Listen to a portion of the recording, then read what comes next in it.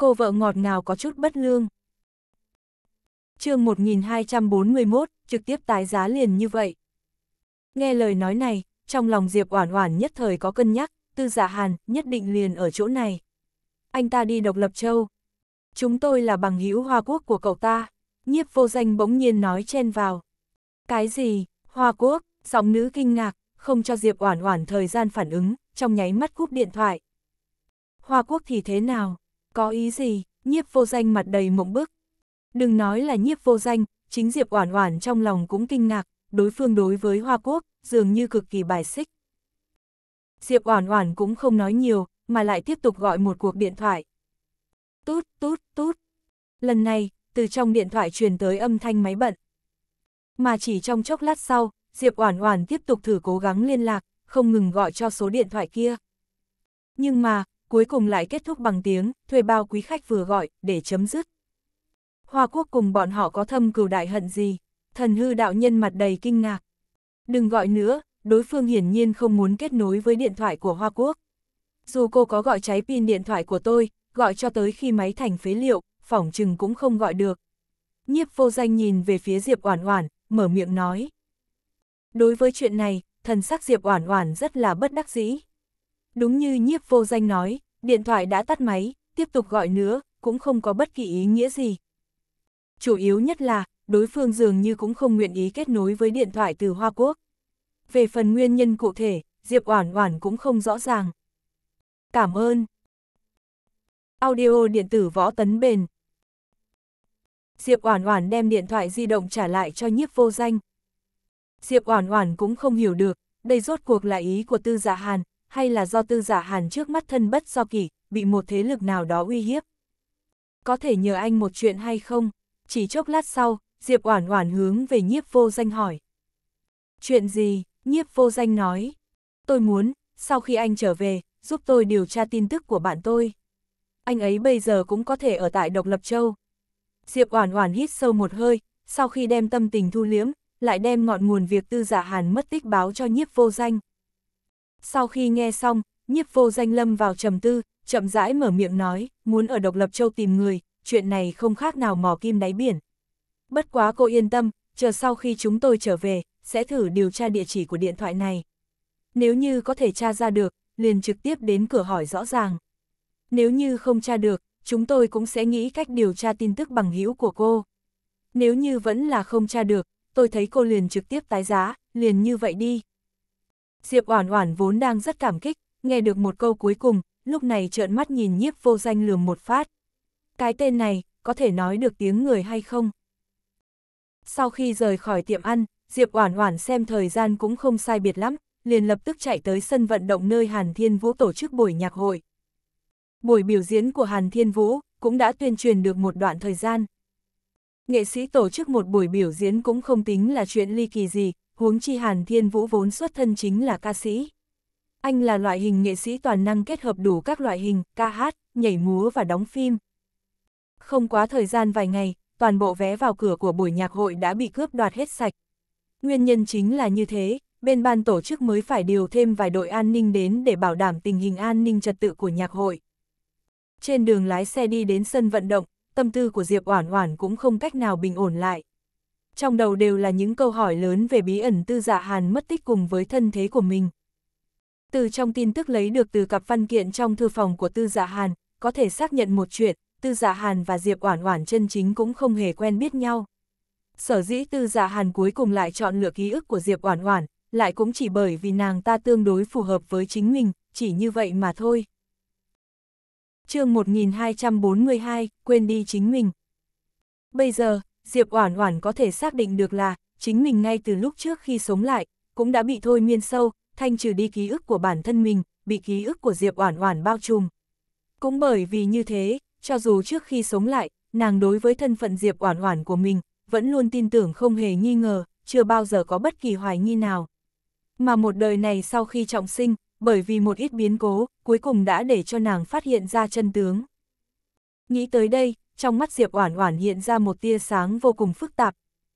A, à, thật chớ trêu thay, là người của hai thế giới, có thể làm lại cuộc đời, nhưng kiếp sống thứ hai này của mình, chính mình lại sống như một người khác, quên đi chính mình. Chỉ bất quá, khiến cho Diệp Oản Oản không cách nào hiểu được chính là, nếu Tư Dạ Hàn và Diệp Oản Oản chân chính không quen biết, Tư Dạ Hàn vì sao phải để cho mình sống như Diệp Oản Oản. Cũng có thể là, Tư Dạ Hàn có nỗi niềm gì khó nói, có nỗi khổ bất đắc dĩ. Dựa theo logic mà nói, chính mình cùng Tư giả Hàn hẳn là quen biết đã lâu. Mình khi đó, cùng Tư giả Hàn là có quan hệ như thế nào? Là người yêu, bằng hữu hay là địch nhân? Cha mẹ của mình lại là ai? Có huynh đệ tỷ muội hay không? Trong lúc nhất thời, Diệp Oản Oản tâm trạng ngàn vạn, từ đầu đến cuối không có chút đầu mối nào. Muốn tháo gỡ được thiên đại bí ẩn này, hiện nay, chỉ có một biện pháp duy nhất, đó chính là tìm tới Tư giả Hàn, để cho anh đem hết thảy ngọn nguồn nói cho thật rõ rõ ràng ràng. Nhưng mà, buồn cười chính là, chính vào giờ phút quan trọng này, Tư Dạ Hàn lại bạt vô âm tín, ngay cả Tư gia cũng không tìm được một chút hành tung nào của anh ta. Nếu đã nghĩ đến cỡ nào cũng không cách nào hiểu được, vậy Diệp Oản Oản dứt khoát không nghĩ nhiều nữa. Chỉ chốc lát sau, Diệp Oản Oản đã đi tới sân vận động. Giờ phút này, sân vận động đã bị một đám đông tấp nập chen chúc, bị phen vây lại đến mức nước chảy không thông. Diệp Oản Oản sau khi đỗ xe lại, mấy người nhân viên ban tổ chức đã đi tới. Kính chào ngài, ngài là Diệp Bạch tiên sinh, hoặc Diệp Bạch tiểu thư à. Người đàn ông trung niên cầm đầu nhìn Diệp Oản Oản, hơi có chút lúng túng. Mặc dù đã nghe nói Diệp Bạch đại danh đỉnh đỉnh chính là nữ giả nam trang, nhưng sau khi tự mình gặp được Diệp Oản Oản, lại vẫn còn có chút không phản ứng kịp.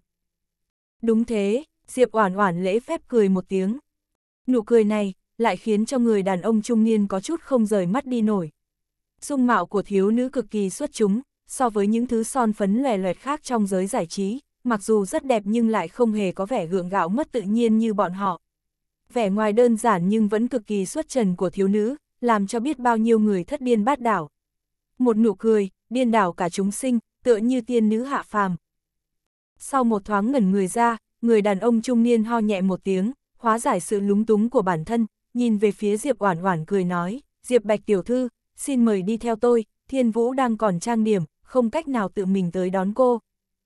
Được, Diệp Oản Oản nhẹ nhàng gật đầu, đi theo mấy vị nhân viên ban tổ chức, đi vào phía sau hội trường. Sân vận động lớn như vậy, bất ngờ bộc phát ra hàng loạt thanh âm hoan hô cùng kêu gào, Diệp Oản Oản thân ở trong sân đều có thể nghe thấy, mà trừ Hàn Thiên Vũ ra, còn có tên của Cung Húc và Lạc Thần. Khiến Diệp Oản Oản có chút kinh ngạc chính là, trong đám người, số lượng fan kêu gào tên của Diệp Bạch lại cũng không phải số ít. Mới vừa gia nhập hậu trường, Cung Húc và Lạc Thần liền một trước một sau từ trong phòng hóa trang đi ra. Diệp ca, Lạc Thần nhìn thấy Diệp Oản Oản tiến tới, lập tức lên tiếng chào hỏi. Cung Húc nhìn về phía Diệp Oản Oản, đang muốn lên án nàng nhận điện thoại của Lạc Thần, mà không nhận điện thoại của mình. Trong nháy mắt khi nhìn đến Diệp Oản Oản, đột nhiên nói không nên lời, hơn nữa lỗ tai càng ngày càng đỏ. Sau chốc lát thất thần, Cung Húc mới hồi phục lại tinh thần, trong miệng không biết nhỏ giọng thì thầm cái gì. Gặp quỷ. Rõ ràng người trước mắt vẫn là người kia, nhưng hắn vì sao lại có cảm giác, có cảm giác dường như có chỗ nào đó thay đổi. chương 1243 cũng không phải là hắn muốn nghe. Cung húc mặt đầy mờ ám tiến tới bên tai lạc thần nhỏ giọng thầm thì, tên ngốc, cậu có cảm thấy Diệp ca có chỗ nào đó không giống nhau hay không? Lạc thần nhìn hắn một cái, không có. Diệp ca chính là Diệp ca, có thể có chỗ nào không giống nhau. Cung húc, rõ ràng khí chất thay đổi nha. Nguyên lai mứt hoa nhỏ vốn là ngọt ngào ôn nhu, nhưng bây giờ Diệp ca. Hiện tại Diệp ca rõ ràng có nhiều hơn một cỗ bá vương chi khí. Y như là được giải trừ phong ấn, chẳng lẽ cậu không nhìn ra được sao? Lạc thần, không hề. Cung húc mặt đầy ghét bỏ, được rồi, loại nam nhân thẳng như sắt thép như cậu có thể nhìn ra được mới là gặp quỷ. Lạc thần, hắn xác định lời này của hắn không có vấn đề sao? Cung húc không lại tiếp tục để ý tới lạc thần, bạch bạch bạch chạy đến trước mặt Diệp Oản Oản, Diệp ca Diệp ca, tối nay hai chúng ta xong ca một bài chứ. Bài, lúm đồng tiền, cô cảm thấy thế nào? Hoặc là, không thể không yêu, người kéo thuyền yêu, hôm nay em muốn gả cho anh. Diệp Oản Oản thần sắc hơi có chút bất đắc dĩ, ngồi xuống ở một bên trên ghế salon các cậu hát đi. Cung húc nhíu mày một cái, Diệp ca, thân thể cô không thoải mái sao? Hay là gặp phải chuyện gì? Diệp Oản Oản thần sắc hơi ấm lại, nhìn cung húc một cái, chỉ cần cậu ngoan ngoãn nghe lời, tôi liền sẽ rất ổn. Cung húc lỗ tai nóng lên, ồ. Đoán chừng là thấy Diệp Oản Oản tâm tình không tốt, cung húc yên phận hơn rất nhiều, hiếm thấy yên tĩnh lại. Chỉ chốc lát sau, Hàn Thiên Vũ trước khi ra sân vội vã chạy tới chào hỏi, Diệp Bạch, cậu tới rồi, xin lỗi, hôm nay quá bận rộn. Diệp Oản Oản nhìn nam nhân trói lọi trước mặt, không có việc gì, cậu còn bận việc của cậu, không cần phải để ý đến tôi. Đúng rồi, quên chúc mừng, chúc mừng kỷ niệm 5 năm xuất đạo. Hôm nay là lễ kỷ niệm 5 năm xuất đạo của Hàn Thiên Vũ, vì vậy cậu ta lựa chọn dùng buổi biểu diễn nhạc hội thế này để kỷ niệm và tri ân fan. Hàn Thiên Vũ ánh mắt ôn nhu nhìn thiếu nữ trước mặt mình, cảm ơn. Nửa giờ sau, buổi biểu diễn chính thức bắt đầu, Diệp Oản Oản cũng ngồi vào hàng ghế VIP. Sân vận động ngoài trời lớn như vậy, chật kín người xem, vô số que phát sáng hua hua khắp nơi trong màn đêm đen, chiếu sáng toàn bộ màn đêm trong ánh sáng lung linh. Chỉ chốc lát sau, Hàn Thiên Vũ rốt cuộc leo lên vũ đài. Cảm ơn mọi người hôm nay đã đi tới nơi này. Khóe môi Hàn Thiên Vũ nhếch lên nụ cười thản nhiên, đảo mắt nhìn toàn trường một cái. Toàn bộ khán giả bên trong sân vận động sôi trào, bộc phát ra từng tiếng rít gào cùng tiếng kinh hô. A a a, Thiên Vũ, Thiên Vũ, Thiên Vũ em yêu anh. Hôm nay, rất vinh hạnh mời được mấy vị hảo bằng hữu tới dự, cũng là những vị bằng hữu mà cả nhà hết sức quen thuộc. Theo lời này của Hàn Thiên Vũ, ống kính máy quay nhắm ngay vào khu vực khách quý trên khán đài chỗ cung húc, Lạc Thần cùng Diệp Oản Oản. Dưới đài nhất thời vang lên từng trận rít gào cơ hồ muốn chọc tan cả bầu trời. Cùng lúc đó, bên ngoài sân vận động, Nhiếp Vô Danh cùng đám người nhất chi hoa, quanh quẩn ở bên ngoài, lén lén lút lút. Đội trưởng, ngày mai chúng ta quay trở về. Giờ đang đêm đang hôm, không có việc gì lại tới nơi này để làm gì. Thần hư đạo nhân dò hỏi, mặt đầy vẻ mơ hồ. Dĩ nhiên là nghe buổi biểu diễn, nhiếp vô danh lườm thần hư đạo nhân một cái.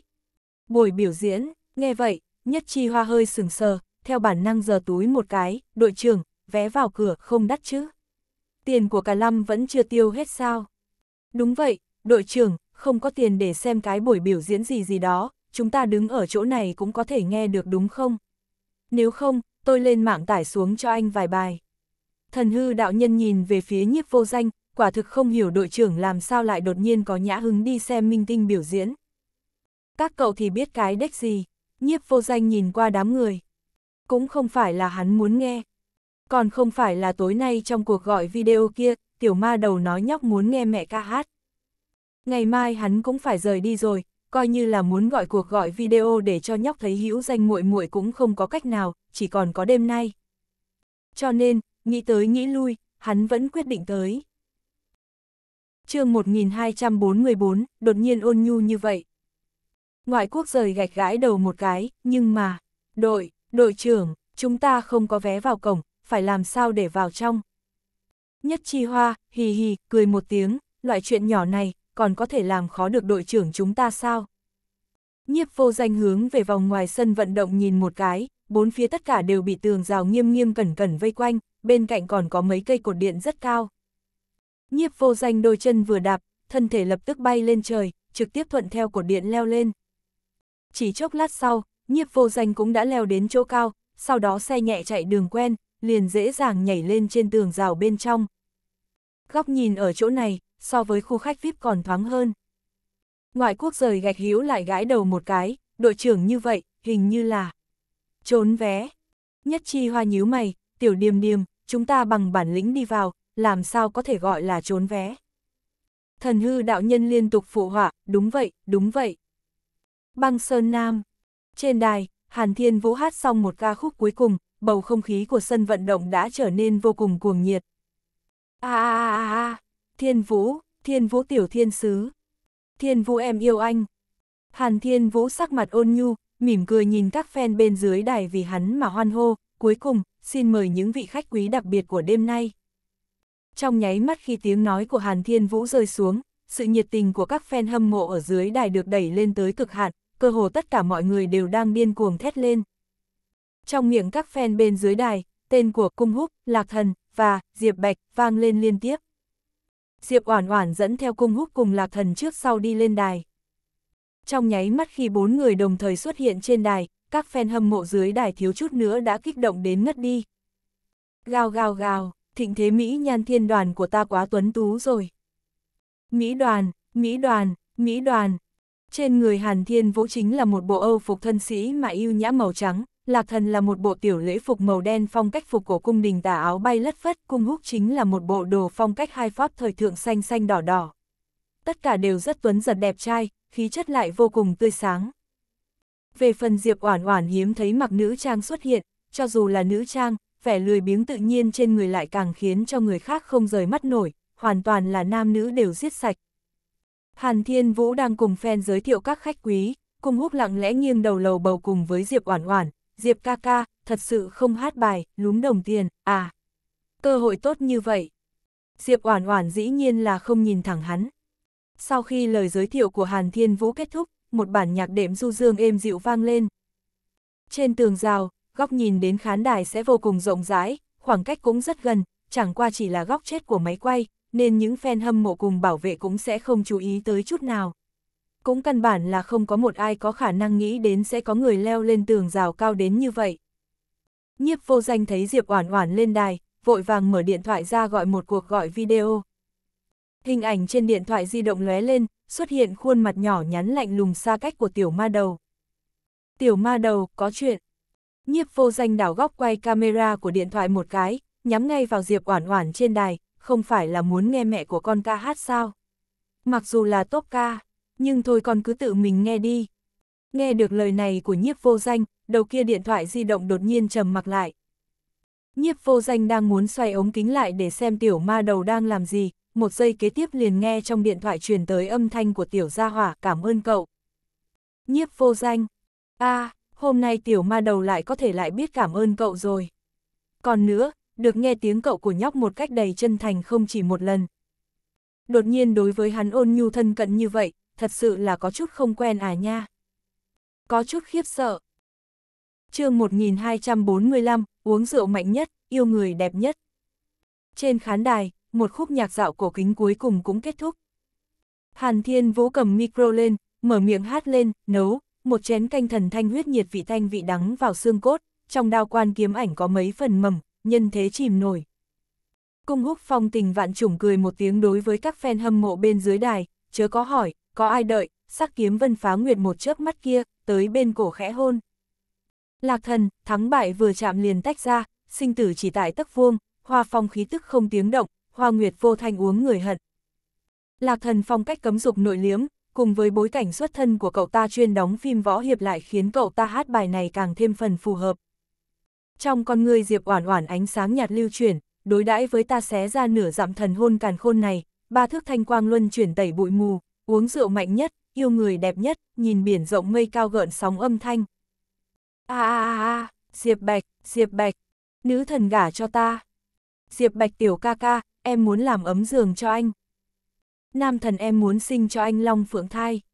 Mặc dù Diệp Oản Oản giờ phút này là nữ trang, nhưng tiếng thét chói tai của các thiếu nữ bên dưới khán đài lại không hề giảm chút nào, nhân khí hoàn toàn không thua gì so với đám ba người Hàn Thiên Vũ.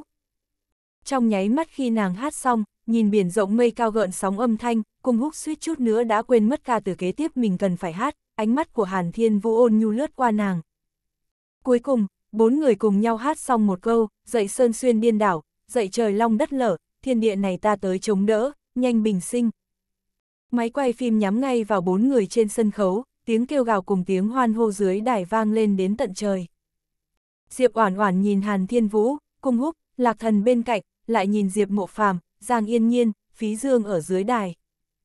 Nhìn lấy tất cả fan, nguyên bản một điểm mờ mịt cùng bàng hoàng ở trong lòng, đột nhiên liền tan thành mây khói. Cho dù nàng không phải là Diệp Oản Oản thì thế nào? Cho dù quên đi chính bản thân mình thì thế nào? Trong khoảng thời gian này khi sống dưới thân phận của Diệp Oản Oản, hết thảy mọi thứ nàng trải qua, toàn bộ đều là thật. Bên cạnh nàng, những người bạn này, thân nhân, người hâm mộ và yêu thích nàng này cũng là sự thực. Cho dù không phải là được sống như chính mình, đoạn nhân sinh này cũng là một khoảng thời gian quý báu đáng trân trọng trong cuộc đời này của nàng, cũng không phải là không hề có chút ý nghĩa nào. Theo bài hát tập thể cuối cùng chấm dứt, buổi biểu diễn hôm nay kết thúc mỹ mãn. Những fan hâm mộ ở đây lưu luyến không thôi mà rời đi khỏi sân vận động. Đầu kia cuộc gọi video của nhiếp vô danh, ánh mắt của đường đường vẫn luôn dõi theo cô gái ở trên sân khấu, mãi đến khi thân ảnh của nàng hoàn toàn biến mất ở phía sau màn, ánh sáng nơi đáy mắt của cậu bé bỗng chốc trở nên ảm đạm đi. Khục, kết thúc rồi, nhiếp vô danh nhắc nhở. Cậu bé vẫn như cũng nhìn chằm chằm lên khán đài lúc này đã không còn ai, chứa cúp. Nhiếp vô danh không có cách nào, chỉ có thể tiếp tục đứng ở trên tường rào. Không biết qua bao lâu, mãi đến khi sân vận động đã không còn một ai, ngay cả ánh đèn sân khấu cũng đã không còn, đường đường vẫn như cũng nhìn lên vũ đài trống rỗng. Giống như, cứ mãi nhìn vào một nơi nào đó, liền có thể một mực nhớ cái hình ảnh mới vừa rồi của mẹ ở nơi này. Hậu trường, Diệp ca ca, cô không sao chứ, cung húc cẩn thận từng ly từng tí hỏi. Hàn thiên vũ thần sắc cũng có chút lo âu, Diệp Bạch, thân thể không thoải mái sao? Trạng thái hôm nay của Diệp Oản Oản quả thật không đúng lắm. Diệp Oản Oản lắc đầu một cái, đang muốn nói không có việc gì, ánh mắt trong lúc vô tình lướt qua ngoài cửa sổ, nhìn thấy tường rào của sân vận động. Ặc, à, hình, hình như trên tường rào phía kia có bóng người. Nàng có phải là tinh thần thác loạn mà nhìn hoa mắt rồi hay không? Làm sao có thể có người không muốn sống nữa mà trèo cao như vậy, muốn chết? Diệp Oản Oản dụi dụi con mắt, định thần nhìn lại, đúng là có người, trong tay còn giơ điện thoại di động, dường như là bộ dáng đang quay hay chụp cái gì đó. Ặc, à, chờ một chút, người kia là... Sau khi thấy rõ người nọ là ai, Diệp Oản Oản quả thật là chố mắt nghẹn họng. Nhiếp vô danh. Cái tên này, lần trước là leo cây, lần này sao lại có thể trực tiếp leo tường rồi. chương 1246, hát cho một mình con nghe một bà. Hàn Thiên Vũ thuận theo ánh mắt của nàng nhìn sang, đang nhìn cái gì vậy? Diệp Oản Oản vội vàng gạt cơ thể đang ngăn trở tầm mắt của Hàn Thiên Vũ sang một bên, ngay sau đó nhìn về phía Hàn Thiên Vũ mở miệng, "Thiên Vũ, có thể nhờ cậu giúp một chuyện được không?" Hàn Thiên Vũ mở miệng, dĩ nhiên là có thể. Diệp Oản Oản, có thể mượn thiết bị âm thanh của nhạc hội để dùng một chút được hay không? Hàn Thiên Vũ nghe vậy cũng không hề hỏi Diệp Oản Oản là muốn làm cái gì, dứt khoát mở miệng nói, dĩ nhiên là có thể, hiện tại thiết bị vẫn còn chưa được thu dọn, tôi đi qua nói một tiếng là được rồi. Diệp Oản Oản mặt đầy vẻ cảm kích, cảm ơn. Một lát sau, Diệp Oản Oản cầm lấy micro, một thân một mình lần nữa đi lên đài. Đùng, một tiếng, một dãy đèn sáng lấp lánh chiếu vào trên người của Diệp Oản Oản. Nhiếp vô danh ngồi trên tường rào thật cao, lệ rơi đầy mặt mà vừa sụt sùi hít nước mũi tòn ten, vừa gồng mình lên hứng lấy từng đợt gió lạnh thổi qua. Chuyện đó, tiểu tổ tông, chúng ta đã nhìn đủ hay chưa? Người cũng không có ở đó, rốt cuộc là nhìn cái gì chứ? Nhiếp vô danh đang muốn tiếp tục mở miệng, lúc này, trên khán đài đột nhiên sáng lên một chùm ánh sáng, ở bên dưới của chùm ánh sáng lại có thể xuất hiện một người. Chính là Diệp Oản Oản đang cầm lấy micro. Nhiếp vô danh nhất thời mặt đầy vẻ kinh ngạc, hả? Diệp lão bản, tại sao lại trở lại rồi hả? Hắn dĩ nhiên không biết được là Diệp Oản Oản đã thấy được hành vi trèo tường của hắn. Nhiếp vô danh thời khắc này, ánh mắt đang rơi ở trên đài, cho nên không nhìn thấy được cậu bé ở bên đầu kia của cuộc gọi video, lúc nhìn thấy Diệp Oản Oản đột nhiên lại xuất hiện, trên mặt là một vẻ kinh hỉ không cách nào tin được. Hậu trường, Diệp Ngộ phàm mặt đầy vẻ kích động, Oản Oản có phải là muốn đơn độc hát tặng riêng cho người anh này một bài hay không? Quá lãng mạn rồi. Cung húc hai tay ôm ngực, ở một bên thấp giọng lầu bầu, nói không chừng là hát để tỏ tình với tôi đấy. Lạc thần thản nhiên hướng về hắn nhìn một cái, vẻ mặt rất khó mà hình dung. Cung húc nhất thời xù lông, đệt, cậu đây là ánh mắt gì? Diệp ca ca làm sao lại không có khả năng tỏ tình với tôi? Theo tiếng nhạc dạo êm dịu và ấm áp vang lên, ánh mắt Diệp oản oản lơ đãng hướng về phương hướng của nhiếp vô danh nhìn lại. Nàng không thấy rõ nhiếp vô danh giơ điện thoại di động là đang làm gì, nhưng dường như là thần giao cách cảm, nàng cảm thấy anh ta chắc hẳn là đang gọi video cho đường đường. Bởi vì tối nay câu kia của đường đường, chính là muốn nghe mẹ ca hát. Sau khi khúc nhạc dạo kết thúc, Diệp Oản Oản chậm rãi mở miệng hát lên. Trùng nằm úp sấp ở trên đàn của ta, nghe nhạc khúc nhẹ nhàng vang, dế ngồi xổm ở bên cạnh ta, kêu lên âm thanh êm tai, nhưng trong lòng suy nghĩ ngày mai bữa trưa cùng ai đi chia sẻ.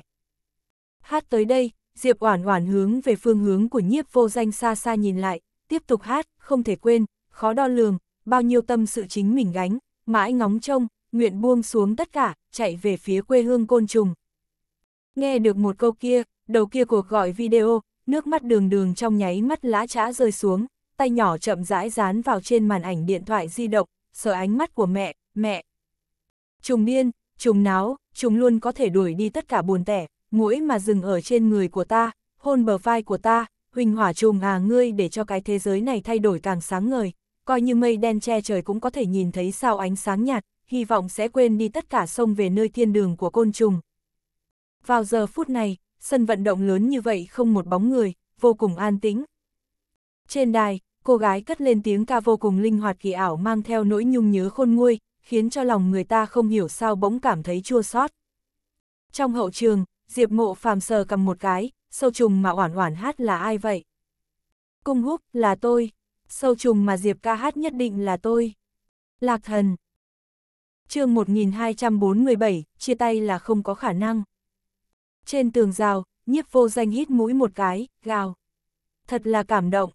Một bên, nhất chi hoa không biết bò lên từ lúc nào, lấy khăn tay lau lau nước mắt, hoa hoa hoa tôi đều nghe đến khóc rồi. Thần hư đạo nhân, A-di Đà Phật, thiện tai thiện tai. Nhất chi hoa, đạo sĩ thúi, cậu đổi giáo phái khi nào rồi vậy hả? Thần hư đạo nhân, còn không phải là vì phát hiện giả mạo hòa thượng là dễ dàng nhất sao?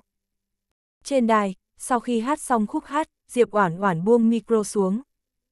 Cho dù luyến tiếc đến đâu, cuối cùng cũng sẽ đến lúc phải tạm biệt. Ngày mai nhiếp vô danh bọn họ sẽ phải rời đi, bài hát này, coi như là món quà cuối cùng mà nàng dành tặng riêng cho đường đường. Sau khi tiếng nhạc dừng lại, đèn pha trên sân khấu cũng được tắt đi. Trên đài lại lần nữa không một bóng người. Nhiếp vô danh thử thăm dò mở miệng, tổ tông. Thấy không có hồi âm, nhiếp vô danh cầm điện thoại di động lên, sau đó phát hiện, đầu kia đường đường đã cúp điện thoại. Nhiếp vô danh thở dài, đem nhất chi hoa đang nằm úp sấp ở trên người mình đẩy ra, giải tán giải tán, tất cả giải tán đi. Ngày mai còn phải dậy sớm. Hắn còn phải mau nhanh chạy trở về, tự mình nhìn một chút, vị, muội muội kia của hắn rốt cục là có chuyện gì xảy ra. Diệp Oản Oản mới vừa quay trở lại, cung húc liền giáo ra giáo giác, trong mắt lấp lánh tiến lại gần nàng, Diệp ca ca. Diệp ca ca, trùng là ai vậy, có phải là tôi hay không? Diệp Oản Oản nhìn hắn một cái. Trí tưởng tượng của tên này có phải là đã quá phong phú rồi hay không? Diệp mộ phàm liếc nhìn em gái mình một cái, hát thâm tình như vậy, chẳng lẽ lại là hát cho tên tiểu bạch kiểm kia? Bất quá có vẻ như cũng không phải, mặc dù có tình cảm hàm chứa, nhưng dường như cũng không phải là tình yêu nam nữ. Lại nói tên tiểu bạch kiểm kia cũng không ở chỗ này, làm sao có thể lại là hát cho hắn được. Diệp mộ phàm cũng không biết mình nói sai cái gì, sau khi nghe xong câu này, thần sắc Diệp oản oản liền âm trầm thêm vài phần. Diệp mộ phàm ho nhẹ một tiếng, thử thăm dò nhìn nàng một cái, chuyện gì xảy ra. Mấy ngày nay trạng thái của em quả thực không đúng lắm nha. Sẽ không phải là chia tay chứ. Cung húc hiếm thấy về cùng một trận doanh với Diệp mộ phàm, nhất thời cặp mắt sáng lên, thật sao? Chia tay. Diệp oản oản lườm hai người, chia tay. Đời này cũng không có khả năng. Cũng không hiểu tại sao, dù nàng đã biết được, tư giả hàn có vẻ như là đã bóp chết con người vốn có của nàng, nhưng nàng vẫn như cố tử trong tiềm thức đi bảo vệ anh ta. Lúc về đến nhà đã là đêm khuya. Chuyện gần đây Diệp Oản Oản biết được quá nhiều, nàng cần phải nghỉ ngơi cho khỏe, bảo trì tinh lực. Bất quá, buổi tối vẫn là không cách nào ngủ được, chỉ chớp mắt một lát, trong mộng tất cả đều là những mảnh hình ảnh vỡ tan đầy ám ảnh. Sáng ngày hôm sau, nàng bị một cuộc điện thoại đánh thức. Oản Oản, trong nhà xảy ra chuyện rồi. Trong điện thoại truyền tới âm thanh nôn nóng mà hốt hoảng của Lương Uyển Quân. Mẹ, sao vậy? Diệp Oản Oản chân mày hơi hơi nhíu lên, mẹ đừng có gấp, từ từ nói. Oản Oản, nhị thúc của con, hắn. Nhị thúc, đáy mắt Diệp Oản Oản lóe lên hàn quang, nhị thúc bọn họ lại khi dễ mẹ cùng cha. Không phải, nhị thúc con, chết rồi. Lương Uyển Quân khẽ than thở trong miệng một tiếng. Cái gì? Nghe được lời ấy của Lương Uyển Quân, Diệp Oản Oản nhất thời sững sờ, nhị thúc Diệp Thiệu An lại có thể chết rồi hả? Chết thế nào? Diệp Oản Oản hỏi theo bản năng. Hiện tại còn chưa rõ ràng lắm, thi thể là được phát hiện ở bên trong phòng, con nhanh quay trở về nhà một chuyến đi. Lương Uyển Quân vội vã mở miệng nói. Không biết từ khi nào, bà đã đem đứa con gái này coi như một người đáng tin cậy. Được rồi, con biết rồi, lập tức sẽ trở về. Diệp Oản Oản nói xong liền cúp điện thoại. Chương 1248, mảnh vỡ ký ức. Một đợt sóng này chưa hết, đợt sóng khác đã tới. Giờ phút này, Diệp Oản Oản rơi vào trầm tư. Bây giờ rất nhiều chuyện đều đã sớm thoát khỏi sự khống chế của nàng, quỹ đạo cùng kiếp trước cũng không giống nhau. Kiếp trước, mãi đến khi nàng chết đi, cũng không phát hiện ra thân phận chân chính của mình, càng không biết, trí nhớ của mình là bị cưỡng ép truyền vào. Kiếp trước tư giả hàn cũng không mất tích, một mực ở lại tư gia, nhị thúc Diệp Thiệu An cũng không chết. Nhưng mà, một đời này, theo quá trình thay đổi của nàng ngày càng nhiều, hết thảy mọi thứ đều dần dần bắt đầu thay đổi không giống với kiếp trước. Mà loại hiệu ứng hồ điệp này, thật ra thì cũng không kỳ quái. Ví như một đời này, Diệp Oản Oản phát hiện ra bí mật thân thế của chính mình, Tư Dạ Hàn mất tích bí ẩn, cùng với nhị thúc Diệp Thiệu An chết bất đắc kỳ tử. Rất nhanh, Diệp Oản Oản đem tâm trạng thu liếm, chân mày nhíu lại. Nhị thúc Diệp Thiệu An chết, tất nhiên có điểm đáng ngờ. Bởi vì kinh lịch kiếp trước, Diệp Oản Oản biết được, thân thể của Diệp Thiệu An vẫn luôn hết sức khỏe mạnh. Mà lần này, Diệp Thiệu An lại chết ở trên giường nhà mình. Rất nhanh, Diệp Oản Oản lái xe chạy tới Diệp gia. Đại khái là liên tiếp phát sinh quá nhiều chuyện, lại ngủ chưa đủ giấc, đầu của Diệp Oản Oản từ đầu đến cuối mơ hồ hơi đau. Thời điểm quẹo qua một khúc cua, đầu đột nhiên giống như bị người ta dùng búa nện cho một đinh vào bên trong, đầu nhức như sắp nứt ra. Đầu giống như bị người ra đâm thủng một lỗ to, có vật gì mãnh liệt thoát ra được. Trong chốc lát, từng đoạn trí nhớ mơ mơ hồ hồ, cũng không đầy đủ, thật giống như trống rỗng xuất hiện, cứ như vậy tràn vào chỗ sâu trong đầu của Diệp Oản Oản. Trong một đoạn trí nhớ cũng không hoàn chỉnh này. Trong đầu của Diệp Oản Oản hiện lên một cô bé. Cô bé đang đứng ở ven hồ, bên người cách đó không xa là một ông lão vẻ mặt cực kỳ uy nghiêm. Ông ngoại, ông ngoại, con muốn gặp ba mẹ, ba mẹ lúc nào tới đón con, cô bé nhút nhát mở miệng. Bọn họ sẽ không tới, ông lão nhìn lấy cô bé, cau mày mở miệng. Tại sao, cô bé mặt đầy ủy khuất? Bởi vì, bọn họ đã chết rồi. Gạt người, ông ngoại gạt người, ba mẹ không có chết. Không được khóc, khóc nhè là sự tình vô dụng nhất, là hành vi của kẻ yếu. Ông lão nghiêm nghị trách mắng. Không cần, ghét ông ngoại, con muốn cha, con muốn mẹ, cô bé điềm đạm đáng yêu, mặt đầy vẻ bi thương khôn tả, nước mắt lớn chừng hạt đậu lăn trên khuôn mặt cô bé. Sắc mặt ông lão hiền hòa, đem cô bé kéo vào trong ngực, bắt đầu từ hôm nay, không có ai có thể dung túng, bảo vệ cho con nữa. Con chỉ có thể dựa vào chính con, con phải học cách để cường đại lên. Nghe chưa? Dạ vâng. Cuối cùng, cô bé tỉnh tỉnh mê mê mà nắm lấy bàn tay của ông lão, không biết là muốn đi về hướng nào. Giờ phút này, đầu Diệp Oản Oản đau như muốn nổ tung. Mặc dù đoạn ký ức này vô căn cứ hiện lên, nhưng Diệp Oản Oản lại có thể xác định, cô bé trong trí nhớ kia chính là nàng. Là nàng lúc còn nhỏ. Mà ông lão vô cùng uy nghiêm kia, chính là ông ngoại của nàng. Kiến trúc cùng cảnh tượng trong trí nhớ, đều là phong cách của Hoa Quốc, nhìn ký hiệu của pho tượng giữa hồ, chắc là một cái chấn nhỏ của thành phố S. Nói cách khác, từ trong đoạn trí nhớ lẻ tẻ này có thể biết, nàng và ông ngoại đều là người nước Hoa. Từ trong miệng của ông ngoại có thể biết được, cha mẹ ruột của nàng đã chết rồi. Diệp Oản Oản hoàn toàn không ngờ tới, chính mình vẫn còn có một người ông ngoại uy nghiêm như thế. Mà càng thêm không thể ngờ tới chính là, cha mẹ nàng, đúng là đã sớm mất đi. Về phần, cha mẹ nàng chết như thế nào, nàng cũng không biết được rõ ràng. Đoạn ký ức này tuy nói là 10 phân rõ ràng, nhưng lại cực kỳ ngắn ngủi.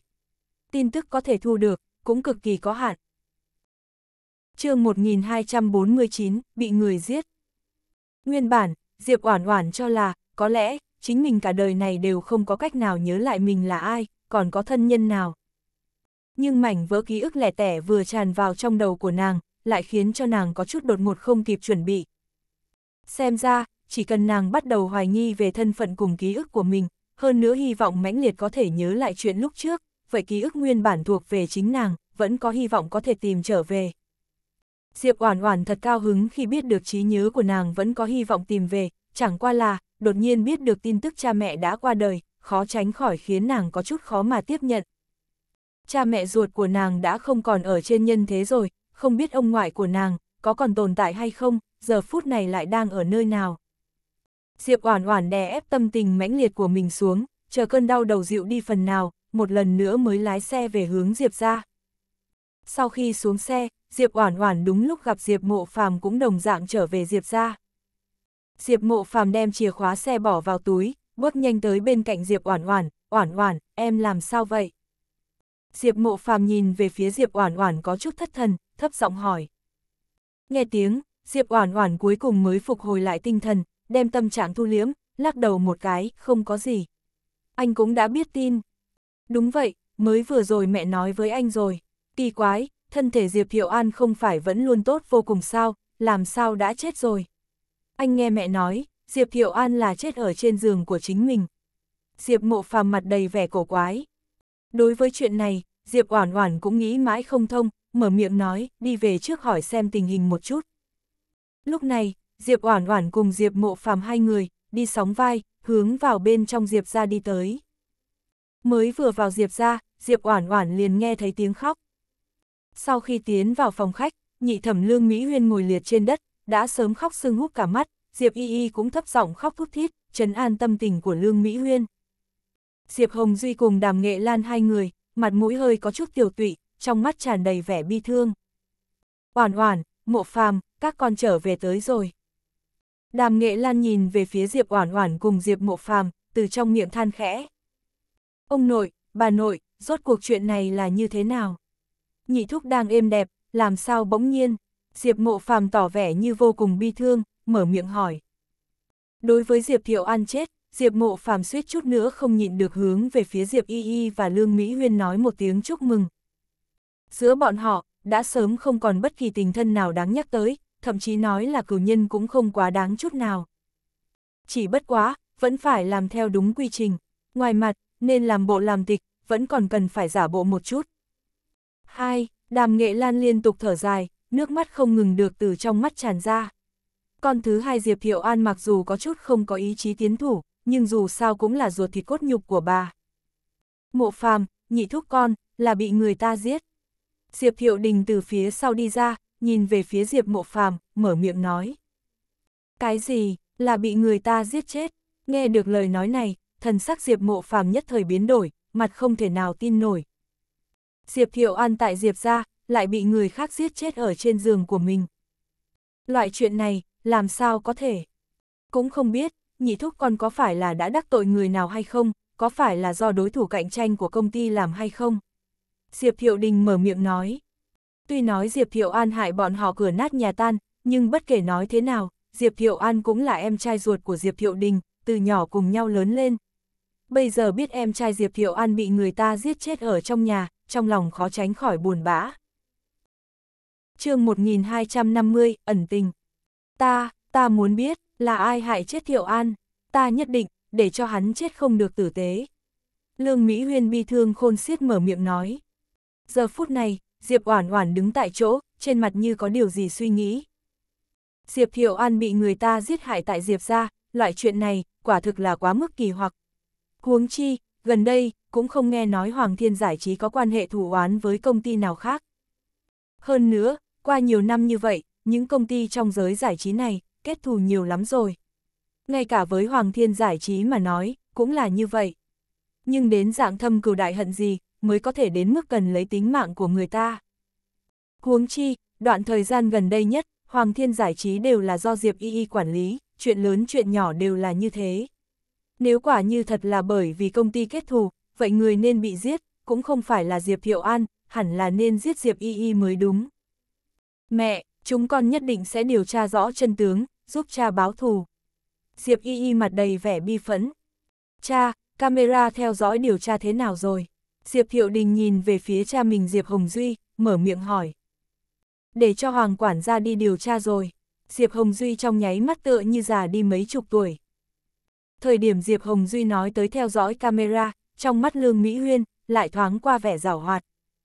Nhưng mà, thần thái trong nháy mắt đó của Lương Mỹ Huyên, lại bị cặp mắt Diệp Oản Oản bắt được. Lúc này, chân mày Diệp Oản Oản nhíu sâu hơn, trước đó nàng liền hoài nghi, Diệp Thiệu An chết, tất nhiên có điểm kỳ lạ. Lại cộng thêm thần sắc dị thường mới vừa rồi của Lương Mỹ Huyên, một loại dự cảm chẳng lành từ trong lòng Diệp Oản Oản bỗng dâng lên.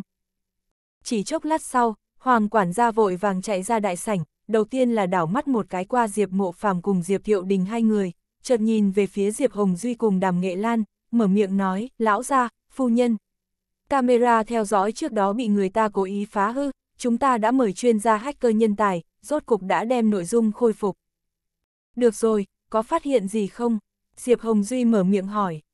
Chuyện này, ánh mắt của Hoàng quản gia, vẫn luôn dừng lại trên người của Diệp Mộ Phàm và Diệp Thiệu An, cuối cùng thở dài, lão ra, ngài vẫn là nên tự đi nhìn đi. Loại chuyện này, tôi cũng không quá dễ nói. Giờ phút này, ánh mắt nhìn của Hoàng quản gia, cộng thêm thần thái dị thường trước đó của Lương Mỹ Huyên, sự cảm chẳng lành trong lòng Diệp Oản Oản bỗng dâng lên mãnh liệt. Chuyện lớn như vậy, ông còn không mau nói đi. Lương Mỹ Huyên hướng về Hoàng quản gia cả giận nói.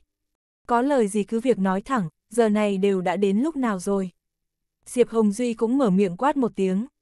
Chuyện này, Hoàng quản gia sắc mặt có chút khó xử, cuối cùng thở dài nói, đúng như vậy, từ nội dung theo dõi của camera, khuya ngày hôm trước.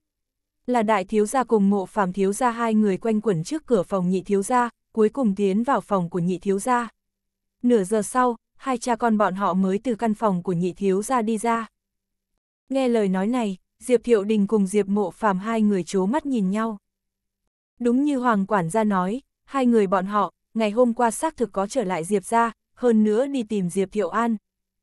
Mà nguyên nhân là vì buổi tối Diệp Thiệu An gọi điện thoại cho Diệp Thiệu Đình, tỏ vẻ có mấy lời muốn nói với Diệp Thiệu Đình. Đúng lúc khuya ngày hôm trước, Diệp Thiệu Đình cùng với Diệp Mộ Phàm ở chung một chỗ, hai người liền cùng nhau quay trở về Diệp ra. Chỉ bất quá, sau khi nhìn thấy Diệp Thiệu An, Diệp Thiệu An chẳng qua đã uống rượu từ trước, có vẻ như là đã uống say. Thời điểm mỗi lần muốn nói cái gì đó với Diệp Thiệu Đình, đều là muốn nói rồi lại thôi.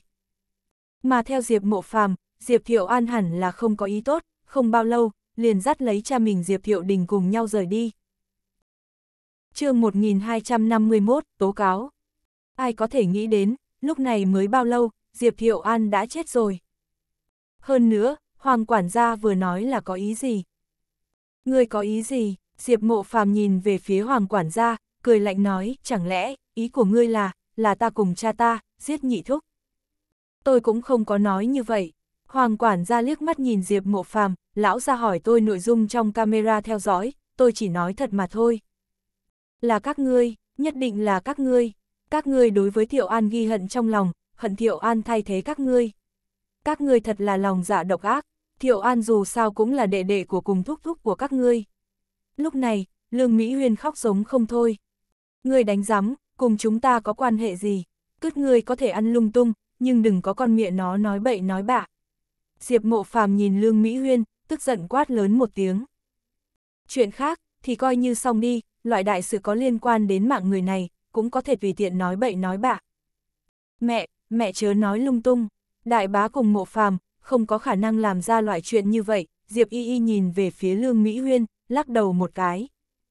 Không có khả năng, có cái gì là không thể nào. Lương Mỹ Huyên gần như cuồng loạn, cả nhà bọn họ hận cha con như thế nào, hận chúng ta như thế nào, trong lòng con chẳng lẽ không biết sao. Camera theo dõi đã quay lại rất rõ ràng, ở trong khoảng thời gian cha con chết, chỉ có hai người bọn họ tiến vào phòng của cha con. Không phải là bọn họ, còn có thể là ai? Chớ ồn ào, Diệp Hồng Duy trợn mắt chừng một cái. Cha, ngài, ngài nhất định phải điều tra rõ chân tướng.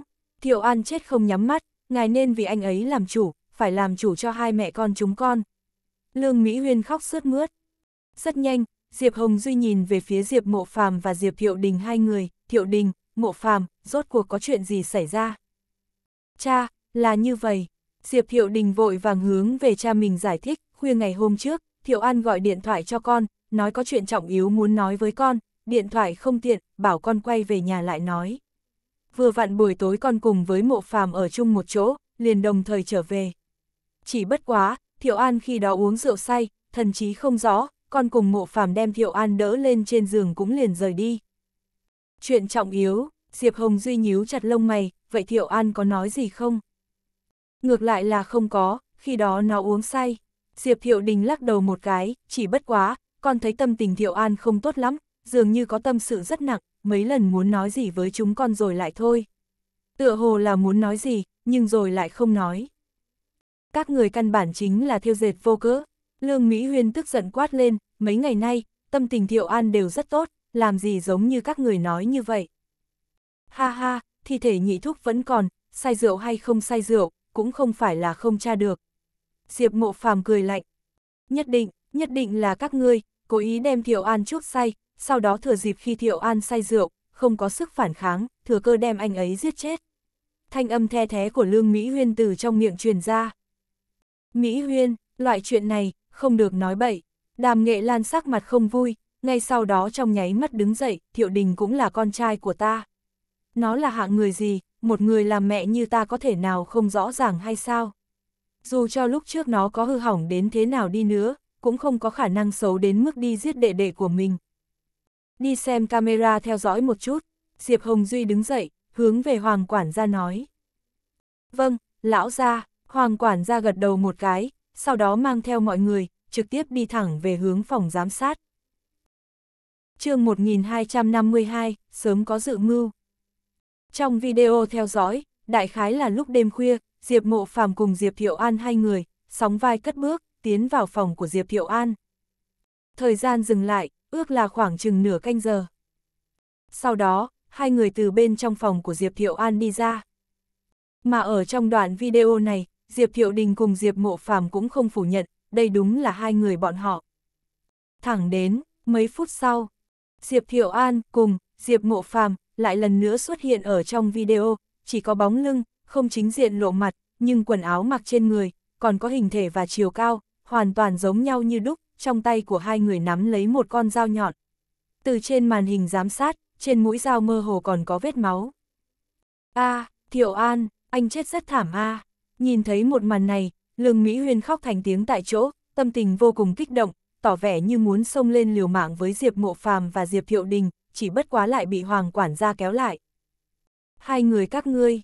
Giờ phút này, Diệp Hồng Duy sắc mặt lúc trắng lúc xanh, chỉ thẳng vào Diệp Thiệu An cùng Diệp Mộ Phàm hai người, tức giận đến thân thể trực tiếp run rẩy. Đàm Nghệ Lan cặp mắt trắng bệch, trực tiếp ngất đi.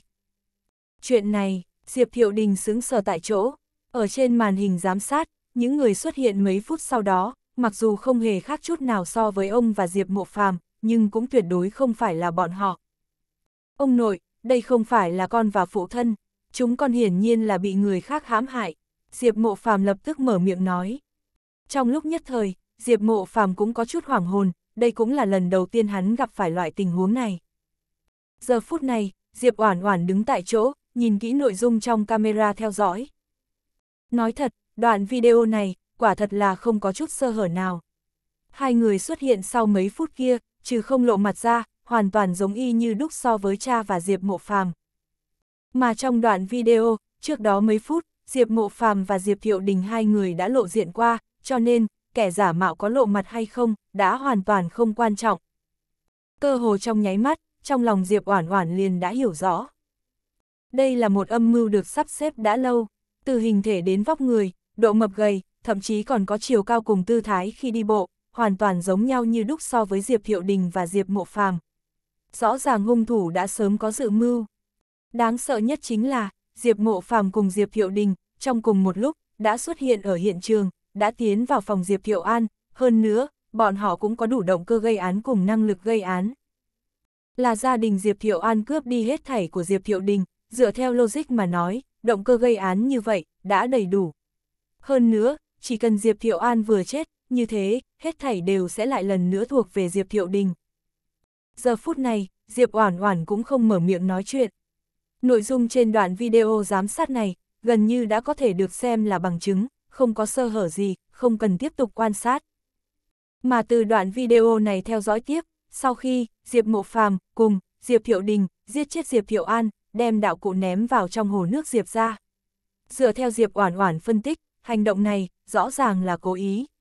Nếu như không có gì bất ngờ xảy ra, trên hung khí nhất định đều là dấu vân tay của Diệp Thiệu Đình và Diệp Mộ Phàm. Diệp Oản Oản biết rõ, bây giờ có giải thích gì thêm, đã không còn bất cứ ý nghĩa gì, chỉ có thể yên lặng theo dõi kỳ biến. Hơn nữa còn phải tìm ra được hung thủ thật sự cùng chủ mưu, mới có thể trả lại sự trong sạch cho Diệp Mộ Phàm và Diệp Thiệu Đình. Nếu không, hậu quả khó mà lường được. Lúc này, ánh mắt của Diệp Oản Oản âm thầm quan sát Lương Mỹ Huyên, Hoàng quản gia và Diệp Y Y ba người. Bởi vì từ kiếp trước, Diệp Oản Oản đã sớm biết được, Diệp Y Y căn bản chính là con gái của Lương Mỹ Huyên cùng Hoàng quản gia. Chương 1253, có một ngày lộ ra cái đuôi. Lương Mỹ Huyên cùng Hoàng quản gia nhiều năm như vậy, đều bảo trì quan hệ không đứng đắn. Nếu như, Diệp Thiệu An chết đi, người được lợi lớn nhất là ai? Dựa theo trên logic mà phân tích, chắc hẳn là Diệp Thiệu Đình. Đương nhiên, nếu như không có đoạn video theo dõi này. Nhưng mà, có đoạn video này, một khi Diệp Mộ Phàm và Diệp Thiệu Đình bị cho rằng là hung thủ giết người. Như thế, người được lợi lớn nhất, sẽ trở thành Lương Mỹ Huyên, Hoàng Quản gia, còn có Diệp Y Y. Toàn bộ Diệp gia, đều sẽ hoàn toàn thuộc về bọn họ, sẽ không còn có bất kỳ uy hiếp gì. Cái đám người một nhà, tương thân tương ái, này, sẽ hoàn toàn cướp đi Diệp gia, cũng đem Diệp Mộ Phàm và Diệp Thiệu Đình hai người, đá rơi xuống vực sâu, cũng không có bất kỳ đường sống nào để chờ mình. Tiếp trước, Diệp Thiệu An cuối cùng phát hiện ra Diệp Y Y đúng là dã chủng của Lương Mỹ Huyên và Hoàng Quản gia, vô cùng tức giận, mà kiếp này. Có lẽ, bởi vì Diệp Oản Oản trọng sinh, dẫn đến cái gọi là hiệu ứng hồ điệp. Tổng hợp từ nhiều yếu tố, chỉ sợ là Diệp Thiệu An bởi vì nhiều nguyên nhân, đã phát hiện ra gian tình của Lương Mỹ Huyên cùng Hoàng Quản gia trước thời hạn. Hơn nữa biết được Diệp Y Y cũng không phải là con gái ruột của chính mình, lúc này mới sẽ sai túy lúy. Nhị thẩm, bà cùng nhị thúc là vợ chồng, buổi tối hôm đó, bà đang ở đâu? Bỗng nhiên, Diệp Oản Oản nhìn về phía Lương Mỹ Huyên, mở miệng hỏi. Nghe được lời ấy của Diệp Oản Oản, Lương Mỹ Huyên nhất thời giận dữ, người có ý gì? Mỹ Huyên, người đã ở đâu? Ánh mắt của Diệp Hồng Duy rơi vào trên người Lương Mỹ Huyên. Cha, buổi tối hôm đó còn ở tại nhà bạn đánh mặt trược, đánh suốt một đêm, các người nếu như không tin, có thể đi hỏi mấy người bạn của con một chút. Lương Mỹ Huyên nói. Nghe vậy, khóe miệng Diệp Oản Oản hơi hơi dương lên, một nụ cười lạnh giá xuất hiện ở trên môi. Diệp Thiệu An chết, tất nhiên không khỏi có liên hệ với Lương Mỹ Huyên và Hoàng Quản gia. Loại chuyện như giết chết Diệp Thiệu An này, chỉ sợ cũng không phải là ý muốn nhất thời, đã sớm có chuẩn bị chu đáo kỹ càng. Cho nên, đám người Lương Mỹ Huyên, tất nhiên đều có chứng cứ ngoại phạm, nếu không, mới gọi là có quỷ. Báo cảnh sát, mau nhanh báo cảnh sát. Lúc này, Lương Mỹ Huyên hướng về Hoàng quản gia, vội vã mở miệng nói. Nghe vậy, đàm nghệ lan mới vừa hồi tỉnh lập tức ngăn cản, sự tình còn chưa được điều tra rõ. Đừng báo cảnh sát, bà chỉ có hai đứa con trai, bây giờ, con thứ hai Diệp hiệu An đã chết rồi. Nếu như, thật sự là con trai lớn Diệp hiệu Đình cùng cháu trai Diệp Mộ Phàm giết chết, một khi báo cảnh sát, bà sẽ mất đi tất cả con trai cùng đứa cháu đích tôn duy nhất. Mẹ, chuyện này, nay chân tướng đã rõ ràng, Thiệu An là bị hai con xúc vật lòng dạ đen tối này giết chết. Lương Mỹ Huyên hét toáng lên. Lúc này, Lương Mỹ Huyên không để ý khuyên can, tự mình gọi điện thoại thông báo cho cảnh sát. Diệp Hồng Duy không nói nổi một lời, mặt mũi tiểu tụy tái nhợt.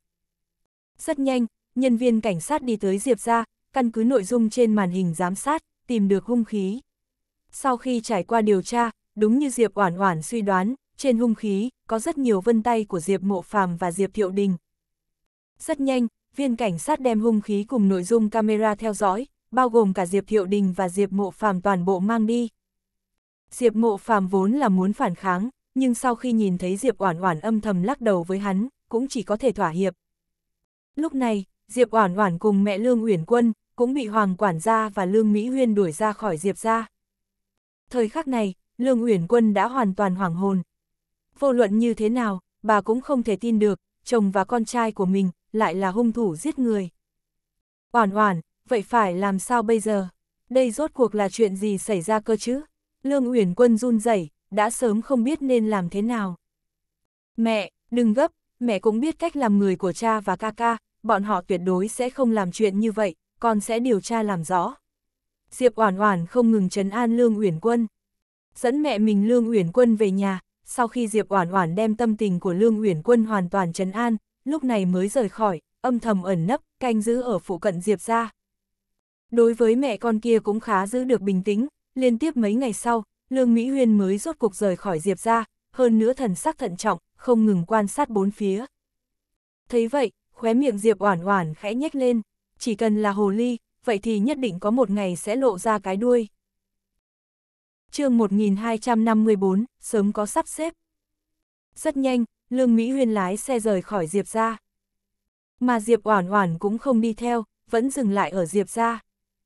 Đúng như dự đoán, nửa ngày sau, Hoàng quản gia cũng từ Diệp ra đi ra, lái xe rời đi.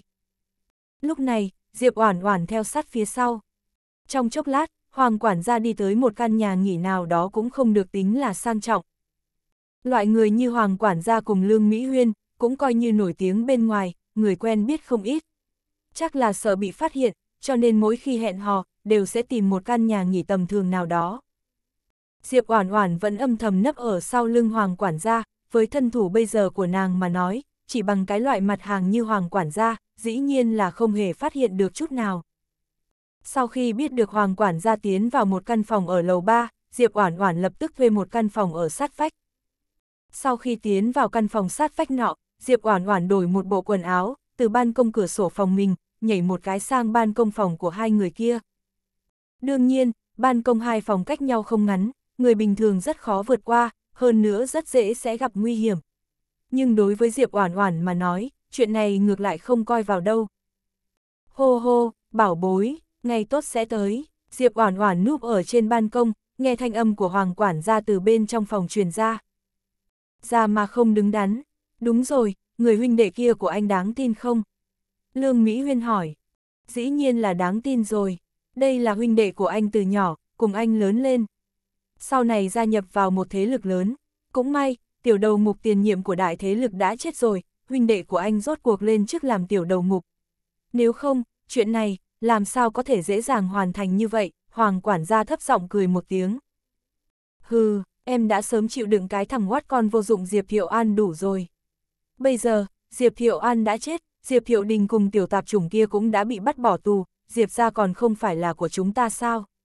Hai cái lão già kia chẳng còn sống được mấy năm, đến lúc đó bọn họ chỉ có thể đem Diệp ra giao cho em cùng y y. Chờ sau khi Diệp ra hoàn toàn rơi vào tay chúng ta, anh người quản gia này, cũng liền có thể quang minh chính đại. Lương Mỹ Huyên nói, vậy khẳng định là tất nhiên, y y là con gái của chúng ta, những thứ ngu si kia, phỏng chừng có nằm mơ cũng chẳng thể ngờ, toàn bộ Diệp ra, cuối cùng sẽ rơi vào trong tay ba người chúng ta, những người ngoài chẳng hề có chút quan hệ nào với Diệp ra. Nhanh, đừng nói nữa, người ta thèm chết mất rồi. Lão già kia, chậm lại một chút. Diệp Oản Oản ở trên ban công, nghe những âm thanh khó nghe bên trong, không khỏi hơi nhíu mày. Hai người này đại khái là cảm thấy qua lâu như vậy, sự tình đã xác định rồi, cho nên mới buông lỏng cảnh giác chút ít, chạy đến đây hẹn hò. Bất quá hai người rõ ràng vẫn là rất cẩn thận, trong lúc mở mồm cũng không hề đề cập đến quá trình sát hại Diệp Thiệu An. Coi như thu âm lại, cũng nhiều nhất chỉ chứng minh được Diệp Y Y không phải là con gái của Diệp Thiệu An, chứng minh Hoàng quản gia cùng Lương Mỹ Huyên có quan hệ không đứng đắn, chỉ như vậy mà thôi. Ước chừng một phút đồng hồ sau, âm thanh Lương Mỹ Huyên lại lần nữa truyền ra, đúng rồi. Còn có cái con tiểu tạp chủng Diệp Oản Oản kia, nhưng cũng không phải là đèn đã cạn dầu. Yên tâm đi, anh đã sớm có sắp xếp. Hoàng quản gia cười lạnh một tiếng. Nghe vậy, hàn quang trong mắt Diệp Oản Oản lóe lên, nghe ý của hai người kia, dường như còn muốn hãm hại chính mình. Nửa giờ sau, Hoàng quản gia cùng Lương Mỹ Huyên hai người rời khỏi khách sạn, Diệp Oản Oản cũng trả phòng. Muốn lấy được chứng cứ Hoàng quản gia và Lương Mỹ Huyên thuê sát thủ, chỉ sợ cũng không dễ dàng. Sau khi Diệp Oản Oản rời khỏi khách sạn, về nhà ở cùng mẹ mấy ngày.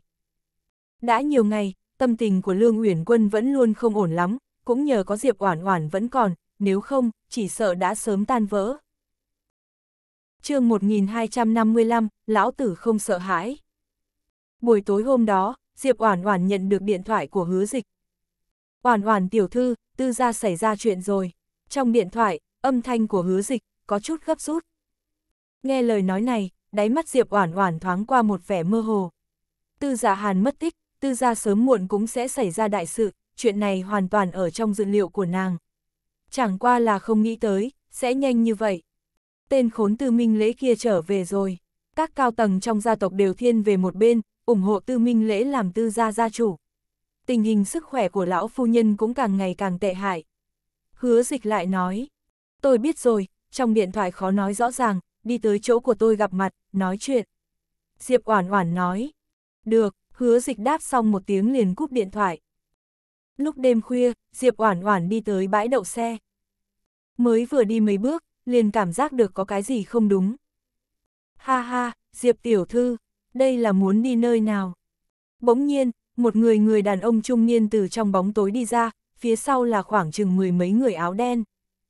Thấy tình thế không ổn, Diệp Oản Oản lập tức xoay người chạy ra khỏi bãi giữ xe. Trước đó, Hoàng quản gia nói, sẽ giải quyết chính mình. Diệp Oản Oản vẫn cho rằng, cái mà Hoàng quản gia gọi là giải quyết chính mình, cũng là dùng thủ đoạn giống như hãm hại Diệp Thiệu Đình và Diệp Mộ Phàm, chưa từng nghĩ. Đúng là tìm người tới giết nàng. Hé hé, chạy thoát được sao? Người đàn ông trung niên cầm đầu cười lạnh một tiếng, lúc này ra hiệu cho những người phía sau lưng mình. Rất nhanh, bốn chiếc xe cùng khởi động, hướng về Diệp Oản Oản đuổi theo. Bây giờ, đêm đã khuya, nơi này vốn là vùng ngoại ô xa xôi, bốn phía đã không còn xe cộ hay người đi đường, bốn chiếc xe càng không chút kiêng kỵ truy kích Diệp Oản Oản. Cùng lúc đó, lúc đêm khuya, một vầng trăng sáng rực treo thật cao trên bầu trời, gió nhẹ từ từ thổi qua mát rượi. Mười mấy nam tử hán cao to lực lưỡng, đang chậm rãi đi theo đường xe chạy. Những người đàn ông nhìn như hung thần ác sát này, trên người vô cùng thống nhất mặc đồng phục là áo thun vào trắng, phía sau lưng có hai chữ to, không sợ, viết theo lối viết thảo, thoạt nhìn ngược lại khí thế vô cùng cường thịnh. Sinh tử coi nhẹ, không phục thì làm, lão tử không sợ hãi. Đúng vậy, không sợ minh vạn tuế. Mười mấy vị tráng hán kia, trong miệng không ngừng hô khẩu hiệu lặp đi lặp lại. Đại ca à, anh nói xem, chúng ta đều đã bị đuổi ra khỏi không sợ minh rồi. Cả ngày còn đọc khẩu hiệu tuyên thệ lúc ban đầu gia nhập không sợ minh để làm cái gì. Một vị tráng hán đầu chọc trong đó, ánh mắt rơi vào trên người nam nhân cầm đầu, mở miệng hỏi. Vậy thì đã sao, chúng ta nếu đã gia nhập không sợ minh, sinh là người của không sợ minh, chết là ma của không sợ minh. Coi như là bị trục xuất khỏi không sợ minh, cũng không được sỉ nhục không sợ minh. Thế nào, có gì không được sao? Tráng hán cầm đầu hừ lạnh một tiếng. Hích, đại ca, anh xem, nháo sự lần này, một đoạn thời gian trước, cao tầng không sợ minh để cho chúng ta đi diệt một cái thế gia, nói kỹ là không lưu lại một người. Người của thế gia kia, đều đã bị chúng ta diệt trừ, chỉ có một con chó săn chạy nhanh. Chúng ta thân là tinh anh của không sợ minh, cũng không thể đuổi theo một con chó giết đi. Cũng bởi vì để một con chó chạy thoát, lại nói chúng ta làm việc bất lực, xóa tên toàn bộ chúng ta khỏi không sợ minh rồi. Nghe vậy, tráng hán cầm đầu có chút cạn lời. Không sai, bọn họ bị trục xuất khỏi không sợ minh, hoàn toàn là bởi vì một con chó. Đừng nói nhảm, có tin lão tử một cái tát đập chết ngươi hay không? Tráng hán cầm đầu tựa hồ có chút tâm phiền ý loạn. Không không không, tôi không dám nói nhảm nữa mà. Sau khi chúng ta bị trục xuất khỏi không sợ minh, độc lập châu cũng không tha cho chúng ta, mấy phen chắc trở, đi tới Hoa Quốc này. Võ đạo của Hoa Quốc này cũng quá lạc hậu rồi đi, cũng không có thế lực liên minh võ đạo nào, chúng ta sau này làm sao lăn lộn đây? chương 1256, hoặc là chơi đến chết. Ai, Lúc này, tráng hán cầm đầu thở dài một cái, đáng tiếc, lão đại không sợ minh chúng ta, tóc húi cua ca, ngay từ lúc mấy năm trước liền mất tích. Bây giờ, không sợ minh cũng có chút xuống dốc, lúc này mới càng ngày càng nghiêm khắc đối với người phía dưới. Nếu như còn lão đại mà nói, nhất định sẽ không so đo chuyện chúng ta để sổng một con chó. Tráng hắn cầm đầu mặt đầy bi thương. Đại ca, lão đại không sợ minh chúng ta, nghe đồn là một cô gái, tuổi còn chưa lớn. Chỉ tiếc thời điểm chúng ta gia nhập không sợ minh, lão đại đã mất tích. Đại ca, tôi thật thật tò mò, một cô gái, lại có thể sáng lập ra không sợ minh, còn giúp cho không sợ minh trở thành thế lực khủng bố của độc lập châu người người e ngại. Làm sao làm được? Trong truyền thuyết, tay lão đại to đến mức người có thể đứng lên được, thân cao 7, 8 trượng sao, khát máu như mạng, đam mê Mỹ Nam. Đây đều là sự thật sao? Một người khác, mặt đầy hiếu kỳ, mở miệng hỏi. Sao tương đương khoảng 23 đến 26 mét? Nghe vậy, tráng hán cầm đầu cười lạnh một tiếng, con mỉa cậu. Cậu coi phim nhiều quá bị nhiễm rồi à? 7, 8 trượng, thứ cậu nói đó là sinh vật ngoài hành tinh. Tráng hán còn muốn nói gì, một chuỗi đèn pha lóa mắt từ phía trước chiếu tới. Thấy vậy, mười mấy vị tráng hán hướng về phía trước nhìn lại, chỉ thấy một vị cô nương tướng mạo không tầm thường, thân thủ nhanh nhẹn đang chạy nhanh trên quốc lộ, phía sau có bốn, năm chiếc xe đang điên cuồng đuổi theo. Hai, nhìn xem người ta, đã chế thế này còn chạy đêm, nhất định là một người có tiền, còn có đoàn xe hộ tống đi theo. Tráng hán cầm đầu mở miệng nói. Đó cũng không hẳn, đại ca, đây là tất nhiên. Anh nhìn cô bé kia, vóc người kia, gương mặt kia. Chật chật, trễ như vậy còn chạy thể dục ban đêm quá nguy hiểm, có bốn, năm chiếc xe đi theo hộ tống, cũng không vấn đề gì. Một vị tráng hán khác gật đầu liên tục phụ họa. Ồ, cậu nói xem vì sao gương mặt này, tôi làm sao nhìn có chút quen mặt. Lúc trước chúng ta mới vào không sợ minh, hướng về một bức họa tuyên thệ. Các cậu mau nhìn một chút, cô bé kia cùng minh chủ chúng ta, có phải là có mấy phần giống nhau hay không? Tương tự cái gì, minh chủ không sợ minh chúng ta, sớm mất con miệng nó tích, giờ đều đã là bao nhiêu năm. Không biết đi đâu chơi đùa, hay là chơi đến chết rồi. Huống chi, bức họa minh chủ chúng ta còn non trẻ, mà cô gái này, hơi hơi thành thục một chút, à, cũng xinh đẹp hơn. Chờ một chút, một vị tráng hán trong đó mặt đầy kinh ngạc, tốc độ mấy chiếc xe kia, làm sao còn không nhanh bằng cô gái nọ. Có cảm giác không đúng. Tráng hán cầm đầu đảo mắt quan sát tỉ mỉ, sau đó cười lạnh một tiếng, cậu biết cái đếch gì, cô bé này nhất định là đang kích thích tiềm lực trong cơ thể của mình, sau đó để cho tài xế lái xe đuổi theo nàng, như vậy nàng có thể chạy nhanh hơn. Có văn hóa hay không? Ồ, tại sao tôi lại có cảm giác, mấy chiếc xe kia dường như muốn tông nàng. Một vị tráng hán trong đám ngơ ngác không hiểu nổi. Trong lúc nói chuyện, chiếc xe ô tô cầm đầu, tốc độ cực nhanh, trong nháy mắt tăng tốc, lao thẳng về phía Diệp Oản Oản. Cơ hồ chỉ trong chớp mắt này, Diệp Oản Oản thậm chí có thể cảm nhận được cảm giác tử vong, tựa như một giây kế tiếp, chính mình thì sẽ bị chiếc xe sau lưng tông nát. Giờ phút này, đại não của Diệp Oản Oản trống rỗng, nhưng tại giây phút này, Diệp Oản Oản lại cũng chẳng biết tại sao, cơ thể bỗng có phản ứng theo bản năng. Chỉ thấy, Diệp Oản Oản giẫm nhẹ chân sau, đúng là cố ý đụng vào chiếc xe con kia. Chợt, cả người nghiêng về phía trước, mượn lực của chiếc xe, trong nháy mắt kéo giãn khoảng cách, thật sự giống như một con báo săn trên thảo nguyên của Phi Châu.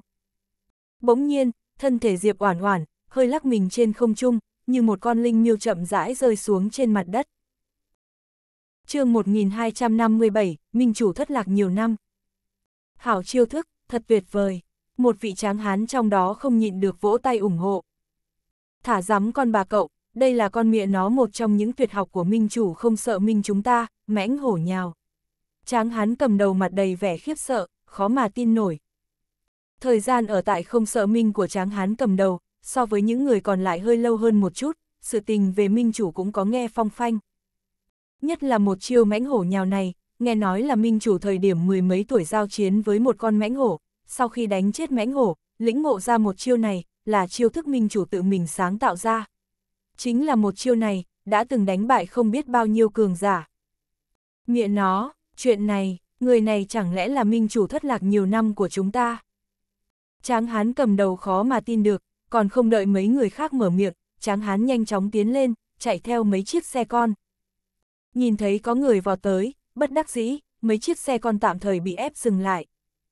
Mày con miệng nó tìm chết à, cút sang một bên cho tao. Còn không lăn tao tông chết mày. Tài xế quay cửa kính xe xuống, thò đầu ra, chửi thẳng vào mặt tráng hán. Cút cái con mẹ mày. Tráng hán nhất thời giận dữ, lúc này, tát cho tài xế một bạt tai. Chỉ thấy một tiếng, bép, vang lên thật lớn, tài xế kia trong nháy mắt chết ngất ở trong xe. Thấy vậy, các cửa xe toàn bộ đều mở ra, bên trong những chiếc xe có mười mấy người đàn ông áo đen bước ra. Còn có người giúp, mười mấy gã áo đen này, trong lòng một cách tự nhiên cho là những người bỗng nhiên xuất hiện là trợ thủ của Diệp Oản Oản, vì vậy cũng không hề nhiều lời, hơn 10 người trong nháy mắt vây lấy Tráng Hán. Có ca tính, lão tử đã nhiều ngày cũng chưa được rèn luyện. Thấy vậy, Tráng Hán cầm đầu cười lạnh một tiếng, nhìn mười mấy người đàn ông này, thật giống như nhìn con mồi. Chúng tôi tới hỗ trợ. Rất nhanh, mấy vị Tráng Hán khác cũng đều nhanh chóng tiến lên, một bộ nhao nhao muốn thử. Biến biến biến, đều là của tôi, ai cũng đều không cho cướp, tráng hán cầm đầu lắc đầu liên tục.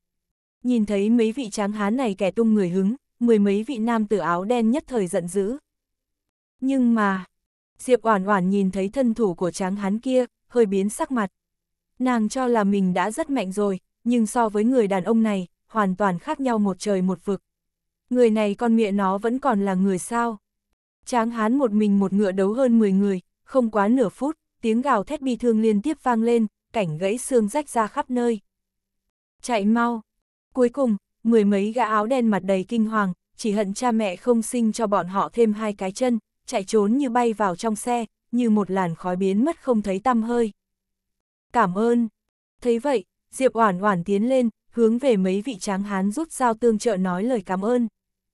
Ca, ca à, nhìn thấy Diệp Oản Oản, tráng hán cầm đầu mặt đầy kích động, ngài hẳn là tóc húi cua ca đi. Ngài hẳn là lão đại không sợ minh chúng ta đi. Đại ca, ngài mấy năm nay đều đi đâu vậy? Đại ca, ngài ban đầu về nhà thăm cha mẹ, lần đi này, chính là mấy năm không có tin tức gì, không sợ Minh tìm ngài quá cực khổ. Ngài nhanh cùng chúng tôi trở về đi thôi, đại ca. Chúng ta, chúng ta đã bị không sợ Minh xóa tên rồi. Một vị tráng hán khác nhỏ giọng nhắc nhở. Nghe được lời này, tráng hán cầm đầu nhất thời sướng sờ, hình như là có chuyện như vậy. Lão đại, ngài phải làm chủ cho tôi nha.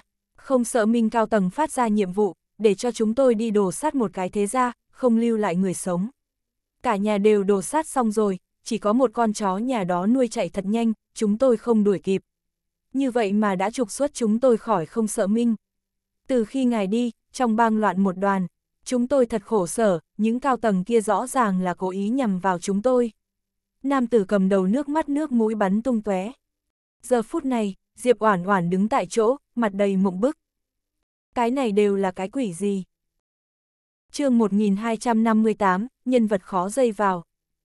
Không sợ Minh. Danh tự này tại sao dường như có chút quen thuộc. Diệp Oản Oản suy tư một chút, đột nhiên nhớ tới, trước đây bởi vì nàng cảm thấy rất hứng thú đối với độc lập châu, cùng Mục Tiên Sinh trò chuyện rất nhiều.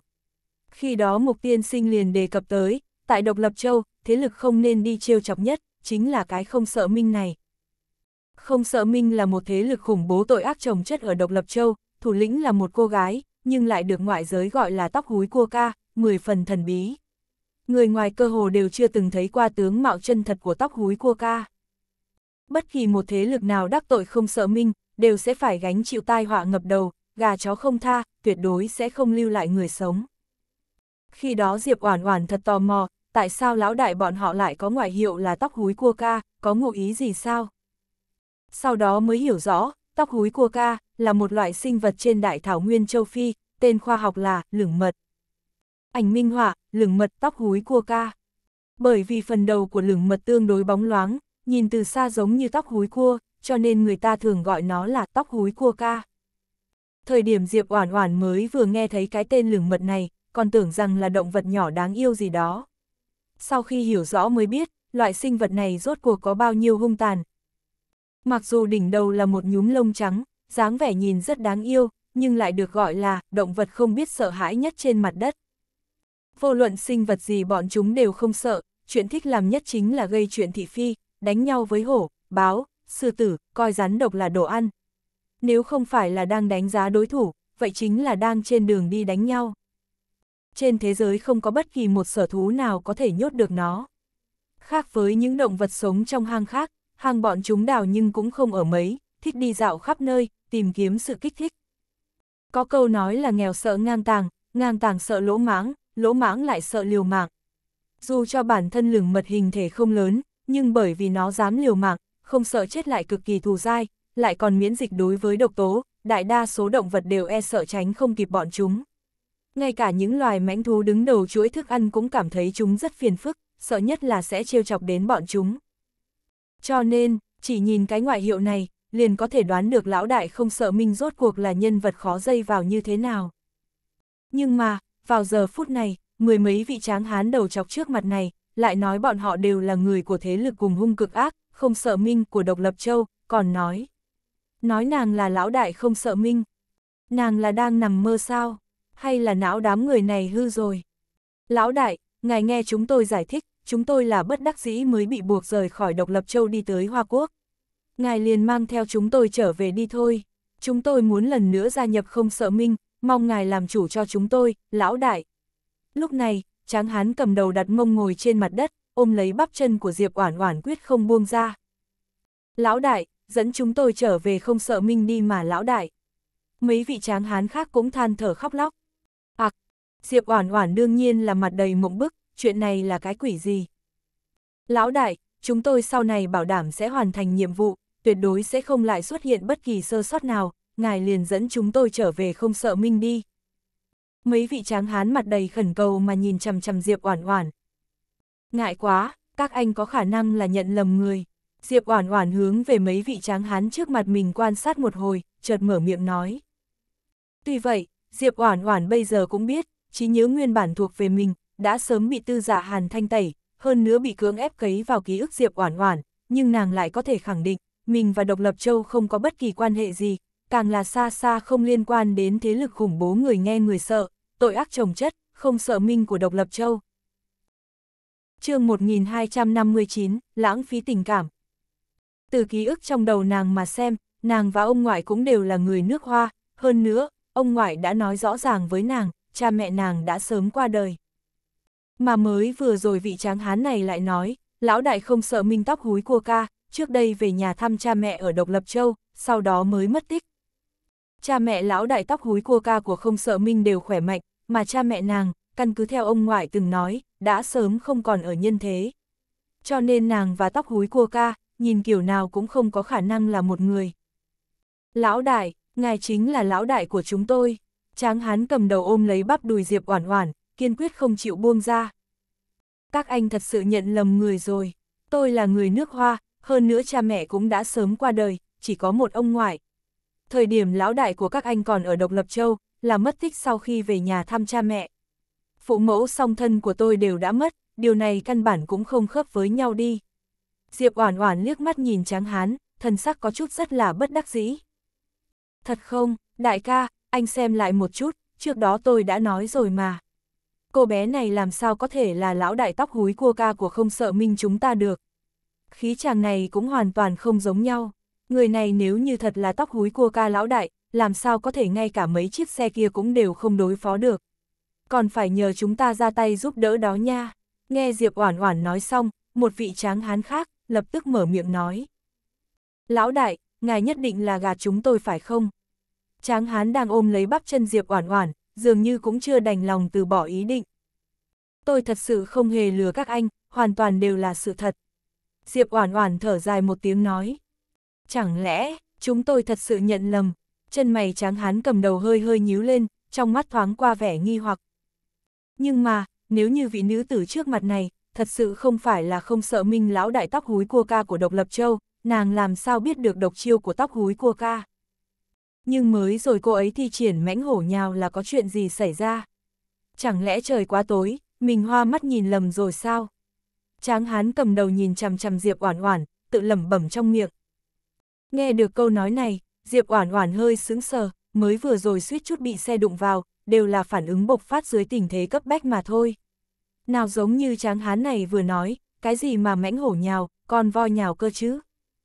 Đại ca, tôi thấy đây chẳng phải là mãnh hổ nhào, nhất định là trời quá tối anh nhìn lầm rồi. Huống chi, cô bé này mặc dù có chút tương tự với bức họa của tóc húi cua ca lão đại, nhưng nhìn kỹ, lại có chút bất đồng. Nhất định không phải là tóc húi cua ca. Tóc húi cua ca là dạng tồn tại như thế nào, ai dám lái xe đuổi giết tóc húi cua ca chứ? Mấy tên phế vật kia, chúng ta một ngón tay đều có thể tùy ý bóp chết. Chỉ bằng bọn họ, còn dám đuổi giết tóc húi cua ca. Nói đùa sao, một vị tráng hán phát biểu ý kiến của mình. Lúc này, Diệp Oản Oản bất đắc dĩ cười một tiếng, trước đó chính mình đã nói bọn họ nhận lầm, bây giờ xem ra, đúng như dự đoán. Chuyện này, Tráng Hán cầm đầu trầm tư chốc lát, chợt gật đầu một cái, mở miệng nói, cậu nói cũng có chút đạo lý. Tóc húi cua ca làm sao có thể sẽ đi thật xa tới Hoa Quốc, hơn nữa, thành tựu võ học của tóc húi cua ca chúng ta, càng không thể nào bị một đám phế vật đuổi giết. Rất nhanh, Tráng Hán cầm đầu rốt cuộc buông lỏng bắp chân của Diệp Oản Oản, dường như bắt đầu dần dần tiếp nhận thực tế. Bọn họ chẳng qua là cứu một cô gái bình thường của Hoa Quốc mà thôi, có khả năng là vì quá mong ước được trở về không sợ minh, lúc này mới nhận nhầm Diệp Oản Oản thành tóc húi cua ca lão đại. Thích, thôi vậy thôi vậy, xem ra thật là tôi nhận lầm người, lãng phí tình cảm của tôi. Tráng hán cầm đầu đứng dậy, nhìn về phía Diệp Oản Oản, thở dài trong miệng. Chương 1260, coi như cô vận khí tốt. Vô luận như thế nào, đa tạ mấy vị đã giúp đỡ. Giờ phút này, Diệp Oản Oản hướng về mấy vị tráng hán này nói cảm ơn. Tuy nói, mới vừa rồi cho dù tráng hán này không ra tay, mấy chiếc xe kia cũng không làm gì được nàng, nhưng nàng muốn tự mình giải quyết, vẫn sẽ phải lãng phí nhiều sức lực. Tiểu cô nương, coi như cô vận khí tốt, gặp được chúng tôi. Nhớ kỹ, lần sau không nên nửa đêm đi chạy bộ tập thể dục, có rất nhiều người xấu đó nha. Tráng hán cầm đầu chân thành khuyên nhủ Diệp Oản Oản, hoàn toàn là giọng điệu trưởng bối. Đối với chuyện này, Diệp Oản Oản chẳng qua chỉ gật đầu một cái, cũng không nói thêm cái gì. Chỉ sợ mấy người bọn họ cũng không phải là người tốt lành gì. Mới vừa rồi nghe Tráng Hán nói tới, bọn họ mặc dù bị đuổi ra khỏi không sợ minh, có vẻ như là bởi vì chưa hoàn thành xong nhiệm vụ mà cao tầng không sợ Minh giao phó, diệt cả một đại gia tộc, chỉ để sổng mất một con chó. Trong tay của mấy vị tráng hán này, đều dính không ít máu tươi. Sau khi một lần nữa hướng về mấy vị tráng hán này nói lời cảm ơn xong, Diệp Oản Oản lập tức gọi một chiếc xe taxi, quay về Hồng Hoa Tiểu Lâu. Trên xe taxi, Diệp Oản Oản nhíu chặt chân mày. Trong khoảng thời gian này, xảy ra quá nhiều chuyện. Diệp gia, Tư gia, cộng thêm chính mình. Thu hoạch duy nhất là, trong đầu nàng, cuối cùng cũng nhớ lại một tia ký ức nguyên bản vốn thuộc về chính mình. Mà phần trí nhớ này tuy không đầy đủ, nhưng lại hết sức rõ ràng. Trừ ông ngoại ra, trong mơ hồ, Diệp Oản Oản vẫn có thể nhớ lại một chút cảnh tượng trong sân trường. Chỉ bất quá, sân trường trong trí nhớ, so với những sân trường bình thường, có rất rất nhiều điểm bất đồng, như có đánh nhau, máu tươi, âm thanh gào thét bi thương không ngừng vang lên. Mà chính những ký ức này của mình, cũng không hoàn chỉnh. Nàng có thể nhớ lại, chỉ có một phần thiểu số mà thôi. Bây giờ, đối với thân thế của chính mình, Diệp Oản Oản lại càng hiếu kỳ hơn, người ông ngoại vô cùng uy nghiêm kia của mình, kết quả là người nào? Mà cha mẹ nàng, lại là chết như thế nào? Hết thảy hết thảy, đều rất giống như sương mù, dù Diệp Oản Oản càng muốn xua tan lớp sương mù này đi, lại sẽ càng bị vùi sâu vào trong đó, không cách nào thấy rõ. Đối với hiện tại mà nói, biện pháp tốt nhất, chính là tìm ra tư giả hàn, để cho tư giả hàn tự nói chân tướng với mình. Chính nàng đến tột cùng là ai, ông ngoại của nàng là ai? Còn tư giả hàn tại sao lại không nói một tiếng đã rời khỏi tư gia, đi đến độc lập châu? Chỉ cần tìm được tư giả hàn, hết thảy chân tướng đều sẽ có thể nổi lên mặt nước. Trừ chuyện đó ra, tương đối khó giải quyết còn có chuyện của Diệp ra bên này. Bây giờ cha Diệp Thiệu Đình và Diệp Mộ Phàm đã bị lập án điều tra. Nếu như nàng không tìm được hung thủ, cũng không cách nào tìm ra được chứng cứ Lương Mỹ Huyên và Hoàng Quản gia là hắc thủ sau màn, chỉ sợ. Cho dù nàng cũng không phải là Diệp Oản Oản, cũng không có khả năng bất kể những chuyện trong gia đình mình. Trong khoảng thời gian này, nàng đã sớm coi bọn họ như là thân nhân. Cho dù nàng cũng không phải là Diệp Oản Oản, cũng sẽ không đi phủ nhận cảm tình mà nàng và bọn họ đã bồi đắp nên trong khoảng thời gian sống chung này. Vừa nghĩ tới Diệp Oản Oản chân chính đã chết rồi, mặc dù nàng cũng không phải là có ý định giả mạo Diệp Oản Oản, nhưng đối với ca ca, đối với cha mẹ, như cũng tồn tại nỗi áy náy. Mối thù giữa nàng với Lương Mỹ Huyên và Hoàng quản gia, lần này coi như là hoàn toàn kết xuống. Diệp Oản Oản cũng không nghĩ tới, gã Hoàng quản gia kia lại thuê sát thủ tới để giết mình. Chỉ chốc lát sau, xe taxi ngừng ở bên cạnh Hồng Hoa tiểu lâu, Diệp Oản Oản sau khi trả tiền xong liền mở cửa xe, đi ra từ chỗ ngồi phía sau. Hứa Dịch đã ở cạnh tiểu lâu chờ đã lâu, nhìn thấy Diệp Oản Oản xuống xe, Hứa Dịch lập tức tiến lên, "Oản Oản tiểu thư, xảy ra chuyện gì sao?" Hứa Dịch trước đó gọi mấy cuộc điện thoại cho Diệp Oản Oản đều không có người bắt máy, cho nên trong lòng hơi có chút lo lắng. Có chút chuyện trì hoãn, vào nhà nói đi. Diệp Oản Oản dẫn theo Hứa Dịch đi vào Hồng Hoa tiểu lâu. Audio điện tử võ tấn bền. Chương 1261, loạn trong giặc ngoài. Biên soạn: Đức Uy vn Trong phòng khách, Diệp Oản Oản rót cho Hứa Dịch một ly nước, chợt hỏi ngay vào điểm chính, tư gia hiện tại như thế nào rồi? Nghe được câu hỏi này, Hứa Dịch đặt ly nước trong tay xuống, nhìn về phía Diệp Oản Oản, thở dài một tiếng nói, "Oản Oản tiểu thư, thật không dám giấu giếm." Từ sau khi cửu gia mất tích, tôi liền biết, tư gia nhất định xảy ra đại sự. Có quá nhiều người không phục cửu gia, thời điểm còn cửu gia, không một ai dám lỗ máng, gió êm sóng lặng. Nhưng sau khi cửu gia mất tích, giống như núi lửa bùng nổ, căn bản là không có cách nào thu thập. Đối với điều hứa dịch nói, trong lòng Diệp Oản Oản cũng rất rõ ràng. Rất nhiều cao tầng của tư gia, vô cùng sợ hãi đối với tư Dạ Hàn. Nếu như có tư Dạ Hàn, sẽ có thể trấn áp bọn họ. Nhưng lần này, tư Dạ Hàn ngay cả một thông báo cũng không có, liền mất tích nhiều ngày. Đến hiện tại, không rõ sống chết, thật giống như bốc hơi khỏi thế gian.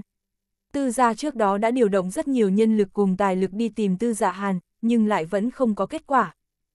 Bây giờ, rất nhiều cao tầng tư gia, đều cho rằng tư giả Hàn có lẽ đã gặp chuyện ngoài ý muốn, nếu không, tuyệt đối không có khả năng những ngày qua không có một chút tin tức nào. Trước đó, một nhà tư minh lễ đã quay trở lại rồi. Trong gia tộc, không ít cao tầng ủng hộ tư minh lễ trở thành tư gia gia chủ. Số ít không đồng ý, kết quả đều không mấy tốt đẹp. Hứa dịch nhíu chặt lông mày. Đối với chuyện này, Diệp Oản Oản cũng không ngờ tới. Trước đó Tư Minh Lễ thoát ly khỏi Hoa Quốc, chính là bởi vì sự hoảng sợ đối với Tư Dạ Hàn. Nhưng hôm nay Tư Dạ Hàn mất tích, không rõ sống chết, tên Tư Minh Lễ kia không còn bất luận nỗi sợ nào, thừa dịp thời cơ tốt như vậy, trở lại Tư gia, một lần nữa đem Tư gia lật đổ. Bà nội thế nào rồi? Diệp Oản Oản lại hỏi. Cho dù là Tư gia không có Tư Dạ Hàn, nhưng uy vọng của bà nội cũng không nhỏ. Trong thời gian ngắn, hẳn là vẫn có thể trấn áp những cao tầng kia. Hích, nói tới lão nãi nãi, hứa dịch lại thở dài một tiếng, tình huống không mấy lạc quan, vẫn chưa tỉnh lại. Diệp Oản Oản nghe vậy, sắc mặt càng thêm ngưng trọng. Căn cứ hứa dịch từng nói, tư gia bây giờ, loạn trong giặc ngoài, mà chí mạng nhất, vẫn là cách cục nội bộ tư gia thay đổi. Những cao tầng vốn đứng về phía tư gia Hàn, hầu như đã bị thanh trừ. Sau khi tư minh lễ trở lại tư gia, đạt được phần lớn cao tầng ủng hộ, hơn nữa đưa ra những điều kiện và dụ hoặc hết sức hấp dẫn đối với những cao tầng kia. Mà một số người tử chung với tư giả hàn chống lại, tỏ thái độ cứng rắn một chút, phản đối tư minh lễ, trong một ngày liền bốc hơi khỏi thế gian, không rõ sống chết. Mà trong lòng hứa dịch cũng hiểu rõ, những vị trung thành với tư giả hàn, hoặc là một số cao tầng muốn tranh đoạt vị trí tư gia gia chủ, đều đã bị tư minh lễ âm thầm xử lý. Hoàn hoàn tiểu thư, bây giờ tư gia, quá mức nguy hiểm. Tôi định tìm cơ hội, đem lão phu nhân đón ra khỏi tư gia. Hứa dịch thở dài một tiếng nói. Nghe vậy, Diệp Oản Oản hơi nhíu mày, mở miệng nói, đã như vậy, tôi và anh bây giờ liền cùng nhau trở lại tư gia, đem bà nội đón đến nơi này của tôi. Sau khi Tư Minh Lễ cầm quyền tư gia, bà nội tất nhiên sẽ gặp nguy hiểm. Nghe lời này của Diệp Oản Oản, Hứa Dịch lại lập tức lắc đầu một cái, "Oản Oản tiểu thư, không được. Đây tuyệt đối không được." Tư Minh Lễ hận cô đến tận xương. Bây giờ, Tư Minh Lễ đã cầm quyền tư gia, nếu bây giờ cô đi về tư gia, quá mạo hiểm. Đến lúc đó, đừng nói đón lão phu nhân đi, coi như là chính cô, chỉ sợ đều không có cách nào thoát thân. Hứa dịch nói như vậy, Diệp Oản Oản cũng không phản bác, thủ oán giữa mình và Tư Minh Lễ, Diệp Oản Oản đương nhiên hiểu rất rõ. Quan hệ giữa Tư Minh Lễ cùng với nàng có thể nói là thâm cừu đại hận rồi. Chương 1262, đầu mối đều hướng về một chỗ. Không nói đến Tư Dạ Hàn bây giờ mất tích, sinh tử chưa rõ, thời điểm ban đầu Tư giả Hàn vẫn còn có mặt, cái gã Tư Minh Lễ kia cũng đã ba lần bốn lượt tìm cách diệt trừ mình. Anh là tâm phúc của A Cửu, trở về Tư gia cũng sẽ gặp nguy hiểm. Diệp Oản Oản nhìn Hứa Dịch, mở miệng nói. Nhưng mà, Hứa Dịch lại bất đắc dĩ cười một tiếng, nói, "Oản Oản tiểu thư, cô cũng không cần bận tâm về tôi." Cha tôi chịu nhục, lúc Tư Minh Lễ trở về, cũng đã dự liệu được kết quả, cho nên người thứ nhất đầu nhập vào Tư Minh Lễ chính là cha tôi và toàn bộ hứa gia. Tôi cũng đành vội vàng trái với lương tâm thể thành tâm ra sức cho Tư Minh Lễ. Trước mắt, Tư Minh Lễ đối với hứa ra chúng tôi, coi như cũng không tệ, cũng không làm khó. Nghe hứa dịch giải thích, Diệp Oản Oản khẽ vuốt cằm, đây cũng coi như là một biện pháp khá thông minh. Tư Minh Lễ nếu đã dám trở lại, tất nhiên đã có chuẩn bị hoàn toàn chu đáo. Bây giờ, Tư Minh Lễ đã liên thủ cùng Tần gia, đã hoàn toàn nắm Tư gia trong tay. Hiện tại Tư gia là Tư Minh Lễ cùng Tần Nhược Hy có tiếng nói. Chỉ một khi cửu gia trở lại, mới có thể giải quyết được tình huống không cách nào nghịch chuyển như bây giờ. Hứa dịch thở dài nói. Nói nghe dễ dàng, nhưng tư giả hàn đã mất tích nhiều ngày như vậy, nếu có thể tìm ra, sớm liền đã tìm được. Cho dù là hứa dịch, trong lòng cũng đang hoài nghi, tư giả hàn có phải là đã sớm xuất hiện chuyện ngoài ý muốn nào đó hay không, bây giờ đã không còn ở nhân thế. Tôi hiểu rồi, khoảng thời gian này khổ cực cho anh rồi, tại tư gia ngàn vạn không nên khinh cử vọng động. Nếu như có cơ hội, có thể đem bà nội đón ra là tốt nhất. A cửu bên này, tôi sẽ phụ trách tìm kiếm. Diệp Oản Oản sau khi trầm tư một lát, mở miệng nói. Vô luận là thân thế của mình cũng được, hoặc là tình huống bây giờ của tư gia cũng được, lại hoặc là vì chính bản thân nàng. Nàng đều cần đem tư giả hàn tìm ra. Oản Oản tiểu thư, trước mắt, tư minh lễ vẫn còn đang ở tư gia thu thập tàn cuộc, trước mắt mà nói, hẳn là còn chưa quản nổi việc xử lý cô. Hứa dịch nhìn về phía Diệp Oản Oản, bất quá, chờ sau khi tư minh lễ hoàn toàn đem chuyện của tư gia ổn định xong, chỉ sợ sẽ không bỏ qua cho cô. Cô tốt nhất rời khỏi nơi này trước, tìm một chỗ để tránh đầu gió. Không cần lo lắng cho tôi, tôi sẽ cẩn thận. đối với hứa dịch thiện ý nhắc nhở, Diệp Oản Oản mỉm cười đáp lại. a nhiều người muốn đòi mạng nàng như thế, nhiều thêm một người như hắn ta cũng không thành vấn đề. Thời gian đã không còn sớm, tôi đi về trước, nếu không tư minh lễ cùng tần nhược hy bọn họ, sợ rằng sẽ sinh nghi. Hứa dịch nói. Nghe vậy, Diệp Oản Oản gật đầu một cái, đứng dậy, tiễn hứa dịch rời khỏi hồng hoa tiểu lâu. Chờ sau khi hứa dịch rời đi, Diệp Oản Oản không khỏi rơi vào trầm tư. Từ tình huống hôm nay mà xem, nhất định phải tìm ra được tư giả hàn, mà tất cả đầu mối đều chỉ hướng về một chỗ, độc lập châu. Diệp Oản Oản ôm lấy một tia hy vọng cuối cùng gọi điện thoại cho Tạ Chiết Chi. Kết quả, đầu kia điện thoại di động vẫn không có cách nào kết nối. Thời điểm mới vừa biết được tư giả hàn xảy ra chuyện, nàng liền liên lạc với Tạ Chiết Chi và Lâm Khuyết. Nhưng hai người này lại trùng hợp như thế, toàn bộ đều không ở trong nước, cũng không liên lạc được. Dường như chỉ trong một đêm, tất cả liên hệ của nàng cùng với tư giả hàn đều bị cắt đứt. Muốn tìm được tư giả hàn, tựa hồ chỉ còn lại một phương pháp duy nhất. Cùng lúc đó, Độc Lập Châu, tại một nơi ngập tràn tội ác nào đó ngăn cách hoàn toàn với thế giới bên ngoài. Nam nhân mặc một thân âu phục yêu nhã màu trắng như tuyết, trên gương mặt tinh xảo treo một nụ cười nhàn nhạt như gió xuân lồng lộng, giờ phút này đang nghiêng đầu, ngồi ở trên đại sảnh. Phía dưới, trong đại sảnh ánh đèn tối tăm, bất ngờ truyền tới tiếng bàn tán chương 1263, Kỷ Hoàng Kỷ Hoàng, đám không sợ minh kia càng ngày càng vô lễ. Mấy cái thế ra đầu nhập vào chúng ta, chỉ trong một đêm bị không sợ minh diệt sạch cả nhà, gà chó không tha. Quả thật là to gan lớn mật, giờ phút này, một người nam tử trung niên, nhìn về phía kỷ hoàng, tức giận không chịu nổi mà mở miệng nói. Một người khác cũng mở miệng phụ họa, không sai, từ sau khi không sợ minh minh chủ mất tích, không sợ minh đã không còn được cường thịnh như trước, nếu như kỷ hoàng ngài nguyện ý, chúng tôi lập tức trinh phạt không sợ minh. Không sợ minh à? Khóe miệng người đàn ông hơi hơi dương lên, trên gương mặt tinh xảo xuất trần, lộ ra một nụ cười khó hiểu. Nụ cười này, thật giống như từ trong tranh đi ra, khí chất siêu thoát, không có bất kỳ uy nghiêm, nhìn qua cũng cực kỳ vô hại. Nhưng mà, khí tức thuộc về bề trên trên người nam nhân nọ, lại làm kẻ khác không dám mảy may xem nhẹ hay lạnh nhạt. Dù sao, người này có thể trở thành vương giả của thế lực ngầm tại châu Âu, là người thừa kế một trong tứ đại gia tộc của độc lập châu Kỳ gia. Người này được gọi là Kỳ Hoàng, Kỳ Tu Nhiễm. Nhắc tới không sợ minh, ánh mắt nam nhân trầm xuống, trên mặt hơi có chút thất thần, tựa hồ là lâm vào trầm tư, dường như đang nhớ lại những gì đã qua. Vô ưu, nam nhân lẩm bẩm một tiếng trong miệng. Kỳ Hoàng, vậy, đám không sợ minh kia rốt cuộc xử lý như thế nào mới tốt? Một người đàn ông nào đó cau mày hỏi. Tùy bọn hắn đi, nam nhân phục hồi lại tinh thần, thờ ơ mở miệng. Nghe lời nói này, người đàn ông trung niên hơi sững sờ, chợt biến đổi thần sắc, kỳ hoàng, đám người bị không sợ minh diệt môn, là mấy võ đạo thế ra dưới tay tôi, tôi thì coi như xong đi. Nhưng mà, chỉ sợ đến lúc đó tôi làm mất mặt ngài. Chuyện này, không tốt lắm đâu. Tôi nói, tùy bọn hắn đi, trên mặt nam tử mang theo nụ cười hiền lành, nhưng chính là nụ cười này, lại khiến cho tim người đàn ông trung niên kia đập loạn, trên trán thấm ra một giọt mồ hôi lạnh. Người đàn ông trước mắt này, là nhân vật truyền kỳ của độc lập châu, là hoàng giả của thế lực ngầm tại châu Âu. Tuổi còn trẻ, một tay thành lập tổ chức ngầm hàng đầu châu Âu, trở thành đế vương của thế giới ngầm. Nụ cười này, nhìn như hiền lành, nhưng có thể kỳ thực lại. Quả nhiên, người đàn ông trung niên sau khi nhìn thấy nụ cười đáng sợ kia xong, nhất thời im bặt. Tại chỗ đó, nam nhân sờ tay vào trong ngực, lấy ra một tấm ảnh chụp ngày xưa.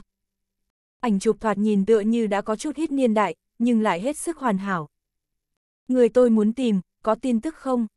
Chỉ chốc lát sau, Kỳ Hoàng nhìn về phía một cô gái vô cùng xinh đẹp bên trong đại sảnh hỏi. Vẫn chưa có, cô gái đi lên trước, lắc đầu một cái.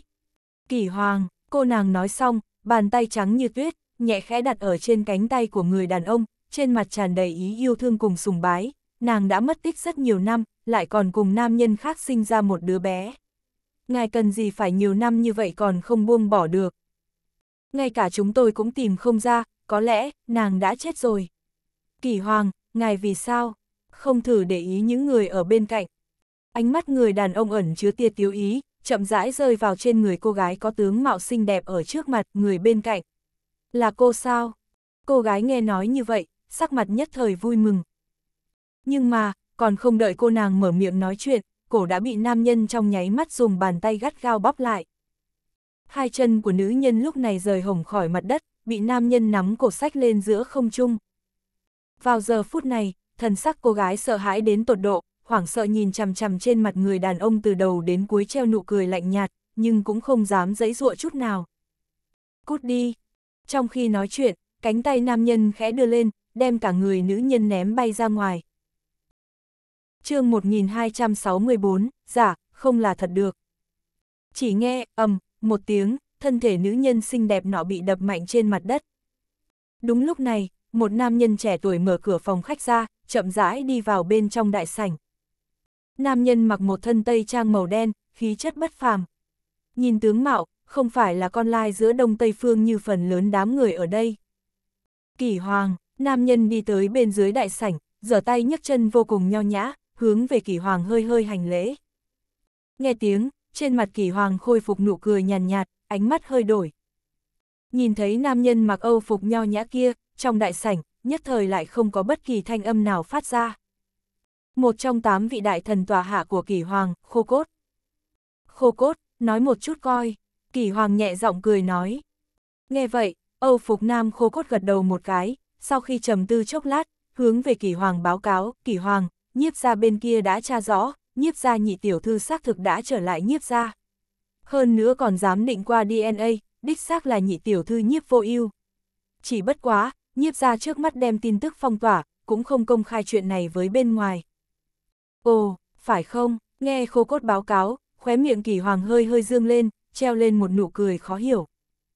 Kỳ hoàng, nếu như là đã tra ra vô ưu tiểu thư đã trở về, có cần chuẩn bị tới cửa thăm hỏi hay không? Khô cốt nhìn về phía kỳ hoàng, chậm rãi hỏi. Không cần, kỳ hoàng nhàn nhạt nói, thật sự tin tức không giả rồi. Chẳng qua người kia là giả, cũng không là thật được. Lời này vừa nói ra, hàn quang trong mắt khô cốt lóe lên, ý của kỳ hoàng là. Nhị tiểu thư bây giờ xuất hiện tại nhiếp gia, cũng không phải là vô ưu tiểu thư chân chính. Ha ha, vô ưu tiểu thư là vị hôn thê của kỳ hoàng, ngài cùng vô ưu tiểu thư là thanh mai trúc mã, đối với vô ưu tiểu thư thậm chí còn hiểu rõ hơn cả nhiếp gia chủ cùng nhiếp phu nhân. Nếu như vị kia thật sự là vô ưu tiểu thư, nhiều ngày như vậy rồi, cũng không có khả năng vẫn một mực ở lại nhiếp gia. Một vị cao tầng mở miệng cười nói. Nghe vậy, kỳ hoàng cũng không đáp lại, chẳng qua chỉ cười nhạt nói, nhiếp gia xuất hiện một vô ưu giả. Làm cũng khá thật, có thể tưởng mình tài trí hơn người đem nhiếp phu nhân đều lừa gạt. Toàn bộ nhiếp gia, chỉ sợ chỉ có cô ả tam tiểu thư đó, mới có bản lãnh như vậy. Nghe được lời này của kỳ hoàng, khô cốt mở miệng nói, nhiếp gia tam tiểu thư nhiếp linh lung. Cái đứa bé gái mồ côi mà vô ưu tiểu thư khi còn bé từ trong tay một thế gia nào đó cứu ra được. Nhiếp linh lung vốn là tiểu thư của một tiểu thế gia tại Độc Lập Châu, cha mẹ bởi vì đắc tội một đại thế gia mà bị diệt cả nhà, chỉ có nhiếp linh lung được vô ưu tiểu thư ngẫu nhiên cứu ra. Sau đó, vô ưu tiểu thư cũng vô cùng chiếu cố nàng, cũng dẫn về nhiếp gia. Nhiếp phu nhân thấy cô ta nhu thuận lanh lợi, liền nhận làm con gái nuôi. Không sai, kỳ tu nhiễm khẽ mỉm cười, đáy mắt là vẻ trào phúng, chẳng qua là, con nhãi nhiếp linh lung này, dường như cũng không hề hiểu được chút đạo lý uống nước nhớ nguồn nào. Nhiếp linh lung tuy trở thành tam tiểu thư nhiếp gia, nhưng vẫn luôn phải sống dưới ánh hào quang của vô ưu, lòng tham không đáy, e là đã sớm có dị tâm. Kỳ hoàng, đã như vậy, bên trong đại sảnh, một vị cao tầng ánh mắt như đao. Nếu như hiện tại vị nhị tiểu thư nhiếp gia kia thật là giả, chỉ cần có chứng cứ xác thực, hoàn toàn có thể báo cho nhiếp gia gia chủ. Sự tình của nhiếp gia, không cần dính vào. Không đợi cao tầng nói xong, nam nhân đang ngồi liền lắc đầu một cái. Ha ha, kỳ hoàng, từ sau khi vô ưu tiểu thư mất tích, cô nàng nhiếp linh lung kia mỗi ngày đều muốn cùng cậu gặp mặt. Ngay cả vị hôn phu của tỷ tỷ mình cũng muốn cướp, tôi thấy ả ta cũng không phải là thứ tốt đẹp gì. Một ông lão nào đó cười lớn một tiếng. Đối với lời này, kỷ hoàng cũng không đáp lại, chẳng qua ánh mắt vẫn luôn chăm chú ngắm nhìn nụ cười tươi như hoa của cô gái ở trong bức hình. Vô ưu chương 1265, phải rời đi một khoảng thời gian. Cùng lúc đó, Hoa Quốc. Diệp Oản Oản để cho đám người Hải Địch đi trước hỏi thăm tin tức của Diệp Mộ Phàm cùng cha mình, Diệp Thiệu Đình. Sáng sớm, Tiểu Lô Ly cùng Hải Địch hai người liền rời khỏi Hồng Hoa Tiểu Lâu, mãi đến buổi trưa, hai người lúc này mới quay trở lại. Chủ nhân, có tin tức. Hải địch đầu tiên là nuốt một ngụm nước miếng, chợt đến gần Diệp Oản Oản nói. Thế nào? Diệp Oản Oản nhìn về phía Hải địch. Chủ nhân, người cô để cho chúng tôi hỏi thăm, đã có tin tức. Khoảng thời gian này, tôi ở chỗ này cũng có không ít bằng hữu.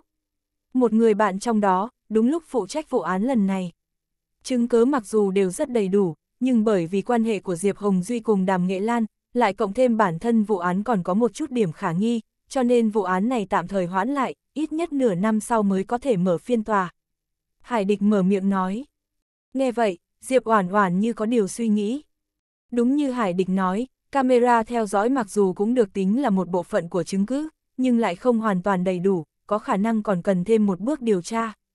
Mà ông nội cùng bà nội, tự nhiên không hy vọng Diệp Mộ Phàm và Diệp Thiệu Đình có chuyện, phải cùng thỏa hiệp với phe của Lương Mỹ Huyên. Mặc dù không biết hai bên đạt được điều kiện như thế nào, nhưng cũng giúp nàng có đầy đủ thời gian. Đối với Diệp Oản Oản mà nói, đây cũng là một chuyện tốt. Thật ra thì, nếu ra tay từ trên người Hoàng Quản gia và Lương Mỹ Huyên, vô luận dùng thủ đoạn như thế nào, hẳn là cũng có thể lấy được đầy đủ chứng cứ để thả Diệp Thiệu Đình và Diệp Mộ Phàm. Nhưng mà, Lương Mỹ Huyên và Hoàng Quản gia lại hết sức cẩn thận, cho dù là thời điểm ở một mình, cũng sẽ không lộ ra chút sơ hở nào. Muốn dùng thủ đoạn bình thường khiến cho Hoàng Quản gia cùng Lương Mỹ Huyên thừa nhận, bọn họ mới là chủ mưu, thuê sát thủ, căn bản là không thực tế. May là thời gian vụ án này bị đưa ra xét xử còn có nửa năm, nàng còn có thời gian. Trước mắt, không thích hợp để tiếp tục truy đuổi Lương Mỹ Huyên và Hoàng Quản gia. Nếu như bứt dây động rừng, muốn tìm cơ hội đột phá, chỉ sợ cũng không còn. Chỉ có thể chờ hai người kia hoàn toàn buông lỏng cảnh giác. Giai đoạn hiện tại mà nói, tư gia cũng được, diệp gia cũng được, đều đã không tha cho nàng. Ở lại Hoa Quốc, cũng không tính là một hành động sáng suốt. Nếu không, một khi tư minh lễ bên kia chuẩn bị xuống tay với chính mình, thậm chí có thể sẽ liên lụy đến mẹ Lương Uyển Quân. Rời đi một đoạn thời gian, có lẽ là lựa chọn tốt nhất. Nàng muốn biết được thân thế của mình, giải quyết vấn đề tư gia cùng Diệp gia, chỉ có thể tìm được tư giả hàn. Mà tất cả đầu mối đều chỉ hướng về một chỗ, độc lập châu. Chủ nhân, chuyện này ngài định xử lý như thế nào? Có cần chúng tôi làm cái gì đó không? Khương lão nhìn về phía Diệp Oản Oản, mở miệng hỏi. Tạm thời không cần phải để ý đến. Diệp Oản Oản yên lặng chốc lát, chợt mở miệng nói, tôi có thể sẽ phải rời đi một khoảng thời gian. Rời đi. Nghe được lời này, ánh mắt tiểu loli lóe lên, chủ nhân. Chủ nhân, ngài muốn đi đâu? Độc lập châu, Diệp Oản Oản ánh mắt kiên định. Bây giờ, cha Diệp Thiệu Đình và Diệp Mộ Phàm bị hãm hại, tư gia bị tư minh lễ còn có tần nhược hy khống chế, tư gia hàn mất tích. Nàng chỉ một thân một mình ở lại Hoa Quốc, đã không có bất cứ ý nghĩa gì.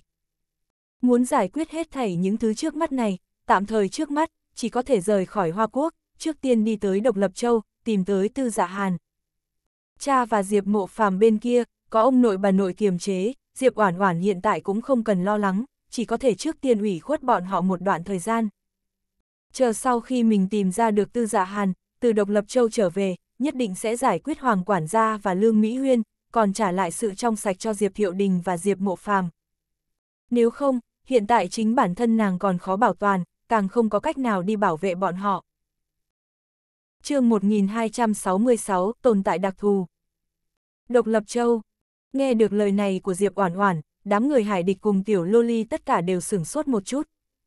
Bọn họ đương nhiên biết rõ độc lập châu, thiên đường của lính đánh thuê, thánh địa của võ thuật. Chủ nhân, chúng tôi vẫn đều luôn hết sức hướng tới độc lập châu, nhưng mấy người chúng tôi, ngày trước đều không có can đảm đi đến. Hải địch cười nói, độc lập châu cho tới nay, đều hết sức bài xích người ngoài. Người ngoài tiến vào độc lập châu, nếu như không có giấy thông hành, hậu quả khó mà lường được. Cho dù là có giấy thông hành, hơi không cẩn thận, ở loại địa phương như độc lập châu, đều vô cùng có khả năng vứt bỏ tính mạng của chính bản thân mình. Đó là một địa phương cơ hồ pháp luật không hề tồn tại. Cho tới nay, tất cả quy củ, đều là tứ đại thế gia của độc lập châu, còn có võ đạo liên minh công hội định ra. Nghe nói trong đó có một luật lệ là, độc lập châu không cho phép bất luận kẻ nào mang theo súng ống đạn dược, các vũ khí hiện đại, có tính sát thương hàng loạt. Nếu như bị phát hiện, bất kỳ một người nào ở tại độc lập châu, đều có quyền đem đánh chết tươi. Mà ở tại độc lập châu, đeo vũ khí, đối với bọn họ mà nói, càng là một loại sỉ nhục. Đây cũng là một trong những nguyên nhân mà đại đa số quốc gia đều không nhúng tay vào độc lập châu. Độc lập châu coi như là một thế giới độc lập, có quy tắc riêng của mình, mà không cho phép mang theo súng, tuân theo quy củ tôn vinh võ học. Đối với bất kỳ một quốc gia nào trên thế giới, cũng không có bất kỳ uy hiếp gì, cho nên, sẽ không có cường quốc nào có ý nghĩ muốn nhúng tay hay dính líu tới độc lập châu. Lấy một thí dụ, nếu như là những cường quốc muốn thanh trừ độc lập châu, một khi độc lập châu bị hủy diệt, tất cả các cường giả võ đạo cùng võ đạo thế gia, lập tức sẽ đổ vào các quốc gia của bọn họ. Tới lúc đó, không có quy tắc của độc lập châu trói buộc. Đối với bất kỳ một quốc gia nào mà nói, đối mặt với vô số võ đạo thế gia, nội tình thâm hậu cổ xưa, đều sẽ không tính là chuyện tốt. Càng đáng sợ hơn là, những võ đạo thế gia cổ xưa này, rốt cuộc không cần tuân theo quy tắc luật lệ của độc lập châu, một khi để cho bọn họ dùng tới súng kết hợp với võ thuật thâm hậu. Hậu quả khó mà lường được. Độc lập châu không chịu bất kỳ quốc gia nào kiểm soát, có thể còn tồn tại đến nay, hơn nữa không có bất kỳ quốc gia nào dám đi trêu chọc, đương nhiên có một bộ quy củ cùng chế độ hoàn chỉnh của riêng mình. Chủ nhân, cần chúng tôi đi cùng sao? Tiểu Loli nhìn về phía Diệp Oản Oản, mở miệng hỏi. Nghe vậy, Diệp Oản Oản trầm tư chốc lát, chợt lắc đầu một cái, lần này thì không cần. Hải địch cùng Khương Lão tuy có thể hiểu được một chút đối với độc lập châu, nhưng cũng chưa từng đi qua. Trước mắt, độc lập châu rốt cuộc xảy ra chuyện gì, trong lòng nàng đều không hề yên lòng chút nào, nhiều người ngược lại sẽ vướng chân vướng tay. Thấy Diệp Oản Oản không dự định mang theo bọn họ, mấy người cũng không tiếp tục nhiều lời. Độc lập châu là một tồn tại cực kỳ đặc thù, hoàn toàn bất đồng với bất kỳ quốc gia nào khác. Nghe nói, võ đạo ở độc lập châu vô cùng hưng thịnh, nhưng đối với những thứ khác ngoài võ đạo ra, lại hơi có chút lạc hậu. Tỷ như, ảo thuật ở độc lập châu, so với Hoa Quốc lạc hậu ít nhất mười mấy năm, bất kỳ một vị ảo thuật gia nào có tài nghệ ảo thuật tốt, đều có thể ở tại độc lập châu kiếm được nhiều tiền, hơn nữa được người người tôn kính. Dĩ nhiên, điều kiện tiên quyết là những ảo thuật gia này nếu đã dám đến độc lập châu, thì không thể để người của độc lập châu phát hiện ra bọn họ là người ngoại lai, hơn nữa phải có giấy thông hành. Nếu không, tiền kiếm được, có mạng xài hay không? Vậy thì là một chuyện khác. Trừ cái đó ra, văn hóa đánh bạc của độc lập châu cũng không kém chút nào một vài thành phố thuộc các cường quốc, tỉ như Las Vegas. Hơn nữa, tại độc lập châu, thi đấu võ thuật trong thế giới ngầm cũng rất thịnh hành, trừ thi đấu giữa người với người, còn có cả những cuộc thi đấu giữa người và mãnh thú. chương 1267, Lữ trình mới theo những gì Diệp Oản Oản hiểu được về độc lập châu từ trong miệng mục tiên sinh, không giống với những nơi khác, đây là một thế giới gần như mộng ảo. Dĩ nhiên, đối với phần lớn người thường mà nói, cũng ngang hàng với tu la địa ngục. Thiên đường hay là địa ngục, hoàn toàn quyết định bởi việc bạn có thân phận gì ở đây. Thật ra thì, đối với Diệp Oản Oản mà nói, nếu như không phải vì tìm kiếm tư dạ hàn, nàng thật đúng là không muốn đi đến một địa phương thần bí khó lường, đầy nguy hiểm như vậy. Sau khi quyết định chủ ý đi độc lập châu, nguyên bản nàng vốn muốn tìm đám người nhiếp vô danh giúp đỡ. Chẳng qua là, điện thoại của mấy người kia tất cả đều đã mất tín hiệu.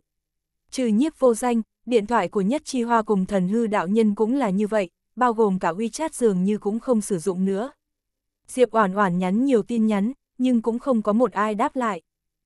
Diệp Oản Oản hơi có chút bất đắc dĩ, đám người nhiếp vô danh cùng nhất chi hoa trở về cũng không đúng lúc chút nào. Hơi hơi chậm lại một chút có lẽ liền có thể dẫn theo chính mình. Nếu như không có cách nào cùng đồng hành với đám người nhiếp vô danh và nhất chi hoa, đối với nàng mà nói, đi đến Độc Lập Châu cũng không phải là một chuyện dễ dàng. Đầu tiên, về đường đi đến Độc Lập Châu, nàng hoàn toàn không biết. Độc Lập Châu cũng không phải là một quốc gia công khai, người bình thường muốn tự mình đi đến Độc Lập Châu, khó như lên trời, càng không biết là mình nên ngồi trên chuyến bay nào. Mà trừ chuyện đó ra, Diệp Oản Oản từng nghe nói, thời điểm ở tại Độc Lập Châu, nhất định phải có giấy thông hành. Nếu không, một khi bị đội tra xét của võ đạo liên minh phát hiện không có giấy thông hành, hậu quả khó mà lường được. Đương nhiên, theo tình thế hiện nay mà nói, nàng cũng không có bất kỳ biện pháp nào tốt hơn, chỉ có thể mạo hiểm đi đến Độc Lập Châu. Thời gian kéo càng lâu, đối với mình cũng được, hay là Diệp Thiệu Đình và Diệp Mộ Phàm cũng được, đều rất bất lợi. Tư Minh Lễ và Tần Nhược Hy bên kia, một khi hoàn toàn khống chế tư gia, với thù hận với chính mình, nhất định sẽ tính toán rõ ràng. Cùng bọn họ cứng đối cứng không có chỗ nào tốt. Sau khi suy tư một lúc lâu, cuối cùng, Diệp Oản Oản gọi điện thoại cho Mục Tiên Sinh. Diệp tiểu thư, cô muốn biết đường đi đến Độc Lập Châu để làm gì? Đầu kia điện thoại di động, thanh âm Mục Tùy Phong vô cùng kinh ngạc. Xin lỗi, chuyện này hiện tại tôi không thể nói, hy vọng ngài nhất định phải giúp tôi một tay. Thật ra thì đường đi đến Độc Lập Châu cũng không phải là một bí mật gì lớn, người có lòng muốn biết cũng không phải là không có biện pháp, chỉ là không có bao nhiêu người ngoài dám xông vào. Nói cho Diệp Oản Oản biết đường đi Độc Lập Châu, đối với Mục Tùy Phong mà nói cũng không phải là việc gì lớn. Cuối cùng, ở dưới sự thỉnh cầu của Diệp Oản Oản, Mục Tùy Phong vẫn đem một loạt đường đi phức tạp, báo cho Diệp Oản Oản biết. Hơn nữa nhiều lần dặn dò Diệp Oản Oản, ngàn vạn lần không nên bởi vì hiếu kỳ nhất thời mà đi đến Độc Lập Châu du ngoạn. Sau khi cúp điện thoại xong, Diệp Oản Oản nhìn bản đồ đường đi được ghi lại trong quyển sổ, trong lúc nhất thời đầu to như cái đấu. Trừ phải đổi vài chuyến bay, còn phải ngồi thuyền, từ Hoa Quốc đến Độc Lập Châu, ít ra phải mất mấy ngày. Chỉ bất quá, nghĩ tới nhiếp vô danh, còn có một số người quen của mình cũng ở tại Độc Lập Châu, nhất là nghĩ đến đường đường, đối với địa phương xa lạ này, dường như cũng không quá đáng sợ như thế. Huống chi, tư giả hàn bây giờ cũng nhất định đang ở tại một cái xó xỉnh nào đó của Độc Lập Châu. Thời gian mấy ngày kế tiếp, Diệp Oản Oản thu thập sửa sang lại một phen, cũng bồi mẹ Lương Uyển Quân một đoạn thời gian. Để tránh cho mẹ lo lắng, nàng nói cho Lương Uyển Quân, chính mình cần phải đi công tác một đoạn thời gian, bảo nàng bảo trọng thân thể, không cần lo lắng chuyện của Diệp Mộ Phàm và Diệp Hiệu Đình, chính mình sẽ có năng lực xử lý xong. Sau khi giải quyết hết thảy, Diệp Oản Oản dứt khoát kiên quyết rời khỏi Hồng Hoa Tiểu Lâu, đi đến sân bay. Chương 1268, đã lâu không gặp. Trên đường đi đến sân bay, Diệp Oản Oản đang nhìn ngắm phong cảnh ngoài cửa sổ, đột nhiên phát hiện không đúng, không khỏi hơi hơi nhíu chân mày lên, "Bác Tài, đây không phải là đường đi đến sân bay sao?" Không bao lâu, xe taxi quẹo vào một cánh rừng, tài xế thần sắc sâu kín mở miệng cười nói, "Không phải là đường đi đến sân bay, là đường đi vào địa ngục." Theo tiếng nói của tài xế phát ra, hàn quang trong mắt Diệp Oản Oản chợt lóe lên. Không cho tài xế có thời gian kịp làm bất kỳ động tác gì, Diệp Oản Oản trong nháy mắt mở cửa xe, từ trên xe nhảy xuống. Cùng lúc đó, cốp sau xe taxi bỗng nhiên bị một cước từ bên trong đá văng, từ bên trong, đi ra hai gã nam nhân mặc đồ đen. Tốc độ của hai gã hắc y nhân, có vẻ như nhanh đến cực hạn, bất quá chỉ trong chốc lát, liền đem Diệp Oản Oản ngăn lại.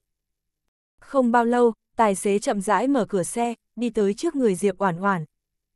Nhìn bộ dáng của tài xế vô cùng lạ mặt, bao gồm hai gã hắc y nhân trước mặt, Diệp Oản Oản cũng chưa từng thấy bao giờ. Tư Minh Lễ phái tới, Diệp Oản Oản hơi nhíu mày, thử thăm dò mở miệng. Nghe vậy, tài xế lại cười lạnh một tiếng, Tư Minh Lễ. Không quen biết, xem ra, cừu gia của ngươi không ít nha. Các ngươi là người phương nào? Diệp Oản Oản thu liếm tâm trạng lại. Sứ giả địa ngục, người đoạt mạng ngươi. Tài xế cười lạnh một tiếng, chợt hướng về hai gã hắc y nhân trước mặt nháy mắt một cái. Lúc này, hai gã hắc y nhân gật đầu, sóng vai đi về phía Diệp Oản Oản.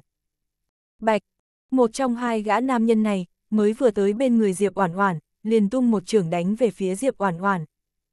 Trường chưa đến, mà trưởng phong đã đến trước mặt. Hắc y nhân tốc độ nhanh đến cực hạn, giơ tay lên tung ra một trường, lực trầm thế mãnh, người bình thường căn bản khó mà ngăn cản, cho dù Diệp Oản Oản cũng theo bản năng thối lui về phía sau, không dám liều mạng. Một tiếng vang trầm thấp nổ ra trong khoảng không trước mặt Diệp Oản Oản, có thể thấy được lực đạo một trường này của Hắc Y Nhân. Giờ phút này, ánh mắt của Diệp Oản Oản, một khắc cũng không rời đi khỏi người gã Hắc Y Nhân này. Ba người, bao gồm cả tài xế, thực lực đều là sâu không lường được, so với những gã lính đánh thuê nàng gặp trước đây, mạnh hơn không biết gấp bao nhiêu lần. Ba người này, Diệp Oản Oản nhìn có vẻ vô cùng lạ mặt, chưa từng thấy qua, cho nên không có khả năng là do ân oán trước đó. Với loại tầng thứ như Tư Minh Lễ và Tần Nhược Hy mà nói, cho dù là nắm trong tay tư gia, chỉ sợ cũng chưa chắc có thể chỉ huy được ba người này. Hơn nữa, biểu hiện trước đó của gã tài xế này, dường như cũng không nhận ra Tư Minh Lễ. Nếu không phải là sát thủ do Tư Minh Lễ và Tần Nhược Hy phái tới, vậy thì là ai? Diệp Oản Oản bỗng nhiên liên tưởng tới, trước đó chính mình từng gặp phải sát thủ, hắc thủ sau màn cũng đồng dạng không phải là phe của Tư Minh Lễ. Vậy ba người trước mặt mình, cùng với đám sát thủ trước kia đuổi giết mình, có phải là cùng một nhóm người hay không? Không đợi Diệp Oản Oản suy nghĩ nhiều, Hắc Y Nhân lại lần nữa ra tay. Tốc độ lần này, so với trước đó, càng thêm kinh người. Cơ hồ theo bản năng, Diệp Oản Oản xoay người bỏ trốn. Thân thủ của Hắc Y Nhân quá mạnh mẽ, với khả năng võ thuật hiện nay của mình mà nói, lấy cứng đối cứng, căn bản không có bất kỳ khả năng giành thắng lợi, chỉ có thể bị treo lên đánh. Nhưng mà, Diệp Oản Oản còn chưa chạy được mấy bước, một bóng người khác từ khúc quanh đi ra, bị Diệp Oản Oản đâm sầm vào. Phong Huyền Diệp. Diệp Oản Oản sau khi khựng lại, hơi có chút kinh ngạc nhìn về phía người trước mặt. Không phải là Phong Huyền Diệp, còn có thể là ai? Giờ phút này, Phong Huyền Diệp đầu tiên là nhìn Diệp Oản Oản một cái, chợt, ánh mắt lãnh đạm hướng về ba người sau lưng Diệp Oản Oản đảo qua. Đã lâu không gặp, Phong Huyền Diệp thu hồi ánh mắt từ trên người ba người, nhìn về phía Diệp Oản Oản, thấp giọng cười nói. Chương 1269, quá yếu. Đối với Phong Huyền Diệp vì sao bỗng nhiên lại không còn cả lâm, ở dưới tình thế trước mắt, Diệp Oản Oản cũng không nghĩ nhiều.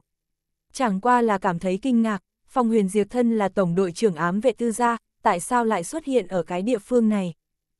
Ồ, còn có người giúp sao?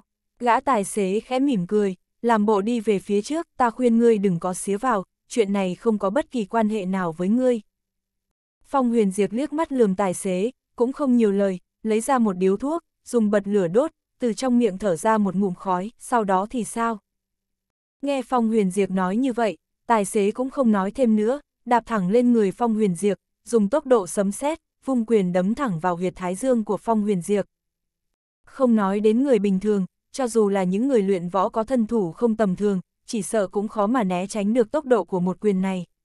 Một khi bị đánh trúng huyệt thái dương, cơ hồ chắc chắn phải chết. Thân thủ của tài xế quá mức nhanh, ngay cả Diệp Oản Oản cũng không kịp phản ứng, chỉ có thể lo lắng nhìn về phía Phong Huyền Diệp. Ầm, um, một tiếng vang thật lớn, thật giống như sấm nổ rền vang, chấn động màng nhĩ của người khác.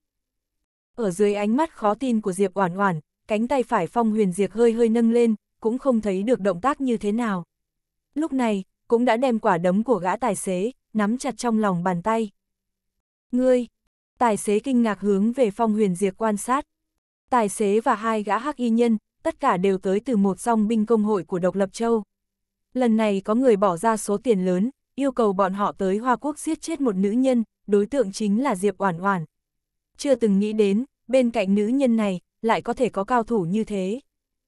Càng nhìn lại càng cảm thấy có chút quen mắt, dường như, từng có thời gian, ở chỗ nào đó đã gặp qua người này. Hai gã hắc y nhân khác cũng không biết nghĩ tới điều gì, liếc mắt nhìn nhau, từ trong con ngươi của nhau, thấy được thần sắc hoảng sợ. Chẳng lẽ, chẳng lẽ ngươi là, chuyện này làm sao có thể? Tài xế sắc mặt chợt biến, kinh hô thành tiếng. Phong huyền diệt, ở trong giới được gọi là quỷ ngục, sát thủ cấp độ truyền thuyết trong giới lính đánh thuê, tâm phúc của đội trưởng nhiếp vô danh. Ai phái người tới, nhiếp ra cao tầng sao? Hay là, Phong huyền diệt nhìn lấy tài xế, âm thanh lạnh giá thấu xương. Nhưng mà, tài xế cùng hai gã hắc y nhân, lại ngậm miệng không nói. Không nói, vậy coi như xong. Phong huyền diệp xoay xoay hai vai, xoay người nhìn về Diệp Oản Oản ở phía sau mặt đầy mộng bức cô đi đâu. Sân bay, Diệp Oản Oản trả lời theo bản năng. Đi sân bay làm cái gì? Thôi cứ vậy đi, cô đi làm việc trước đi. Phong huyền diệp hít một hơi thuốc lá nói. Vậy, cậu thì sao? Diệp Oản Oản nhíu chặt chân mày lại. Mấy người này, đều là tư minh lễ phái tới. Để tôi xử lý, cô không cần phải để ý đến. Phong huyền Diệp nói. Tư minh lễ, Diệp Oản Oản sững sờ, tài xế cùng hai gã hắc y nhân kia, thật sự là tư minh lễ phái tới. Chỉ bất quá, Phong huyền Diệp nếu đã nói như vậy, Diệp Oản Oản tự nhiên cũng sẽ không phản bác cái gì. Còn không đợi Diệp Oản Oản tiếp tục mở miệng, từ trong tay Phong huyền Diệp, chẳng biết từ lúc nào đã nhiều hơn một con dao găm. Hàn quang lóe lên, cổ ba người bị cắt đứt trong nháy mắt, rất nhanh, tê liệt ngã xuống đất y như bùn nát vậy, khí tuyệt bỏ mình. Yếu như vậy, không làm gì tốt, cứ nhất định phải làm sát thủ. Phong huyền Diệp từ tốn nói. Yếu, khóe miệng Diệp oản oản hơi rúm lại. Ba người kia, đối với mình mà nói, đã mạnh mẽ đến tức lộn ruột, mà vào trong miệng Phong huyền Diệp. Đây là gã cả lắm đó ban đầu ở tư gia, lúc nào cũng quấn lấy mình, năn nỉ mình dạy cho hắn mấy chiêu sao. Mãi đến lúc này, Diệp Oản Oản mới hồi phục lại tinh thần. Phong huyền Diệp, nơi nào còn cả lâm. chương 1270, tôi có thiên phú dị bẩm. Cậu không phải là cả lâm. Diệp Oản Oản nhìn chằm chằm Phong huyền Diệp, cau mày mở miệng. Nếu như Phong huyền Diệp không bị cả lâm, vậy khi hắn ở tại tư gia, vì sao phải làm bộ như cả lâm? Còn thân thủ đáng sợ này nữa, là thế nào? Là cà lăm, Phong huyền diệt nhìn chằm chằm Diệp Oản Oản, chữa hết mà thôi, tôi làm cấp trên của ám vệ, là tổng đội trưởng, một tháng được 50.000 tiền lương, chữa trị bệnh cà lăm không phải là rất đơn giản à. Vậy còn thân thủ của cậu, Diệp Oản Oản lại nói, thiên phú dị bẩm, hiếm thấy trên đời, cộng thêm tôi kiên trì, không ngừng cố gắng, trong thời gian ngắn, rốt cuộc trở thành cao thủ. Chuyện này, hẳn cũng rất hợp lý đi. Phong huyền Diệp suy nghĩ một chút, nói như vậy. Nghe Phong huyền Diệp giải thích xong, khóe miệng Diệp oản oản hơi hơi co rúc. Coi như bịa ra lý do, có thể bịa ra một lý do tốt tốt một chút, có cần phải qua loa lấy lệ như vậy hay không? Cậu coi tôi là kẻ ngu, Diệp oản oản có vẻ cạn lời. Không có, những gì tôi nói đều là sự thật. Phong huyền Diệp hít một hơi thuốc. Nhìn thấy thần sắc tràn đầy nghi ngờ cùng ánh mắt của Diệp oản oản, biểu hiện của Phong huyền Diệp cũng hơi có chút mất tự nhiên. Còn không đợi Diệp oản oản mở miệng, Phong huyền Diệp vội la lên, tôi là tổng đội trưởng tư gia, làm sao có thời giờ ở chỗ này cùng cô nói chuyện phiếm. Tôi còn có nhiệm vụ, tôi phải đi về. Gần đây bên ngoài loạn như thế, không có việc gì đừng chạy lung tung. Nói xong, Phong huyền Diệp như một làn khói, bỏ chạy. Sau khi Phong huyền Diệp rời khỏi rừng cây, đem điếu thuốc trong tay dập tắt, hàn quang trong mắt hơi hơi lóe lên. Mới vừa rồi ba người kia, cũng không phải là sát thủ tư minh lễ phái tới ám sát Diệp Oản Oản. Ba người đều đến từ Độc Lập Châu, nếu như hắn đoán không sai, có lẽ có liên quan đến vị nhị tiểu thư giả mạo kia. Chỉ bất quá, khiến cho Phong Huyền Diệp trước mắt còn chưa suy nghĩ ra là, người bên cạnh làm thế nào biết được Diệp Oản Oản có tồn tại. Lại nói, có người đem tin tức tiết lộ đi ra ngoài, để cho một ít người biết được Diệp Oản Oản chính là nhị tiểu thư nhiếp gia, cho nên lúc này mới có thể hạ sát thủ. Dựa theo Phong Huyền Diệp phỏng đoán, có thể là nhiếp gia cao tầng, cố ý để cho người giả mạo nhị tiểu thư nhiếp vô ưu lăn lộn vào nhiếp gia, muốn dùng nhị tiểu thư giả mạo, tranh thủ một ít lợi ích mê người. Nhị tiểu thư nhiếp vô ưu từ nhỏ đã rời khỏi nhiếp gia, rất ít khi về nhà, thời gian gặp mặt cùng nhiếp phu nhân và gia chủ cũng không nhiều. Lại cộng thêm nhiếp vô ưu mất tích nhiều năm, con gái lớn lên thay ra đổi thịt, nếu chỉ dựa vào mặt mũi, rất khó phân biệt. Đây cũng là cơ hội cho một số người lợi dụng đục nước béo cò. Khi Phong Huyền Diệp nhìn thấy sát thủ của Độc Lập Châu, đặc biệt từ Độc Lập Châu đi tới Hoa Quốc, chuẩn bị ám sát Diệp Oản Oản, Phong Huyền Diệp liền biết được, chuyện này vô cùng nghiêm trọng. Đến tột cùng là ai, lại đem tin tức Diệp Oản Oản chính là nhiếp vô ưu tiết lộ ra ngoài. Tiết lộ cho ai? Lại là ai, không tiếc để cho sát thủ từ xa xôi vượt biển tới Hoa Quốc muốn lấy đi tính mạng của Diệp Oản Oản. Chẳng lẽ là... Trong đầu của Phong Huyền Diệp hiện ra một bóng người, thần sắc âm trầm. Còn không đợi Phong Huyền Diệp nghĩ thêm, chợt nhớ tới, Diệp Oản Oản mới vừa rồi thật giống như nói, muốn đi tới sân bay. Con bà nó, nàng không phải là phải đi độc lập châu đấy chứ. Phong Huyền Diệp sắc mặt đại biến. Mục đích hắn ở lại Hoa Quốc, chính là vì bảo vệ cho Diệp Oản Oản. Độc lập châu hiển nhiên có người muốn lấy mạng Diệp Oản Oản. Giờ phút này Diệp Oản Oản nếu như đi đến độc lập châu, bị hắc thủ sau màn phát hiện, vậy thật chính là nguy cơ tứ phía, có chuyện gì xảy ra, ai cũng không bảo vệ được nàng. Diệp Oản Oản nguyên bản muốn đuổi theo Phong Huyền Diệp hỏi cho rõ ràng, không biết sao tốc độ Phong Huyền Diệp lại quá nhanh, trong nháy mắt liền mất tăm mất tích, đuổi theo cả nửa ngày cũng không đuổi kịp. Bất đắc dĩ, Diệp Oản Oản chỉ có thể thay đổi phương hướng, đi đến sân bay. Thời gian đến lúc lên máy bay, còn dư lại không nhiều. Chuyện liên quan đến Phong Huyền Diệp, chỉ có thể đợi sau khi mình từ Độc Lập Châu trở lại Hoa Quốc, lại hỏi rõ ràng. Sau khi tới sân bay, thời gian cũng vừa kịp, Diệp Oản Oản thuận lợi lên máy bay. Chương 1271, nàng có vị hôn phu. Mấy ngày kế tiếp, Diệp Oản Oản nhiều lần chắc trở, chuyển máy bay vài lần, bước ngang qua bên bờ kia đại dương, ngồi thuyền không biết bao nhiêu chuyến. Diệp Oản Oản thề, từ nhỏ tới lớn bây giờ nàng chưa từng gặp một chỗ nào, mà lại phải tốn sức như thế mới có thể đến được. Quốc gia cách Độc Lập Châu gần nhất, cũng không có chuyến bay đến Độc Lập Châu. Thậm chí Độc Lập Châu cũng không có trên bản đồ của các quốc gia lân cận. Tiến vào Độc Lập Châu cũng được, rời đi Độc Lập Châu cũng được, có ba loại phương thức có thể dùng được. Loại thứ nhất, thuyền. Loại thứ hai, máy bay tư nhân. Loại thứ ba, tự bơi. Ở trong biển bơi con mịa nó 9 tháng 9 năm 81 ngày, cũng liền không sai biệt lắm. Độc Lập Châu, con mịa nó. Diệp Oản Oản ở trong một sơn động nọ, vắt khô nước trên quần áo. Nàng quả thực là bơi lội, từ trong biển, bơi đến Độc Lập Châu. Một khắc cuối cùng của thuyền, động cơ gặp sự cố, thân thuyền nghiêng về một bên, chậm rãi chìm xuống. Sau đó, thủy thủ trên thuyền liên lạc với đội cứu viện của Độc Lập Châu. Bất đắc dĩ, Diệp Oản Oản chỉ có thể nhảy xuống biển. Nàng cũng không ngốc, chính mình không có giấy thông hành đi Độc Lập Châu, đến lúc đó, những đám người đội cứu viện kia hẳn là sẽ không do dự đem mình giết chết. Thật may, hải vực nơi thuyền máy xảy ra chuyện, cách Độc Lập Châu, bất quá chỉ mấy trăm mét. Sau khi lên bờ, các hải cảng ven biển, toàn bộ đều là đội tuần tra, còn có chó săn, tựa hồ là đảm nhiệm chức năng giả soát. Diệp Oản Oản thấy, tất cả mọi người tiến vào Độc Lập Châu, rối rít lấy ra giấy thông hành. Không có giấy thông hành, Diệp Oản Oản chỉ có thể len lén chạy về hướng sơn mạch ở phụ cận. Bên trong sơn động, cảm giác đói bụng và mệt mỏi đã sớm bủa vây lấy nàng. Bây giờ, giấy thông hành, thẻ căn cước, thẻ ngân hàng các loại của Diệp Oản Oản, toàn bộ đều mất ở trong biển rộng, trên người chỉ còn lại một cái súng lục mua để phòng thân khi còn ở những quốc gia chung quanh độc lập châu. Tuy nói độc lập châu không cho phép súng ống tồn tại, nhưng nàng cũng không định đem súng lục ném đi. Bây giờ, chính mình thứ nhất là không có giấy thông hành, thứ hai, đối với độc lập châu cũng hoàn toàn mù mờ. Nhiều thêm một cây súng lục trên người, sức lực cũng đủ hơn một chút, ai ném mới là kẻ ngu. Không biết qua bao lâu, Diệp Oản Oản bắt đầu hôn mê, lâm vào trạng thái ngủ sâu. Trong mộng hiện ra rất nhiều cảnh tượng, tướng mạo mơ hồ của ông ngoại. Còn có một vài gương mặt tưởng chừng như vô cùng xa lạ, lại vô cùng thân quen. Trong mộng, nàng thật giống như nhìn thấy một Mỹ Nam tử tướng mạo xuất trần, như trong tranh đi ra. Mà người kia, lại là vị hôn phu được ước định từ nhỏ của nàng. Chính mình ngày ngày đều đi loanh quanh sau đuôi người kia, nhưng chỗ sâu trong nụ cười như gió xuân ấm áp của Mỹ Nam lại không có bất kỳ độ ấm nào. Hắn cho phép chính mình tiếp cận, nhưng lại chưa bao giờ có bất kỳ tình cảm nào khác ở trên người của nàng. Nàng muốn ở bên hắn cả cuộc đời, nhưng hắn lại chỉ xem nàng như một đứa trẻ, xem như một người em gái.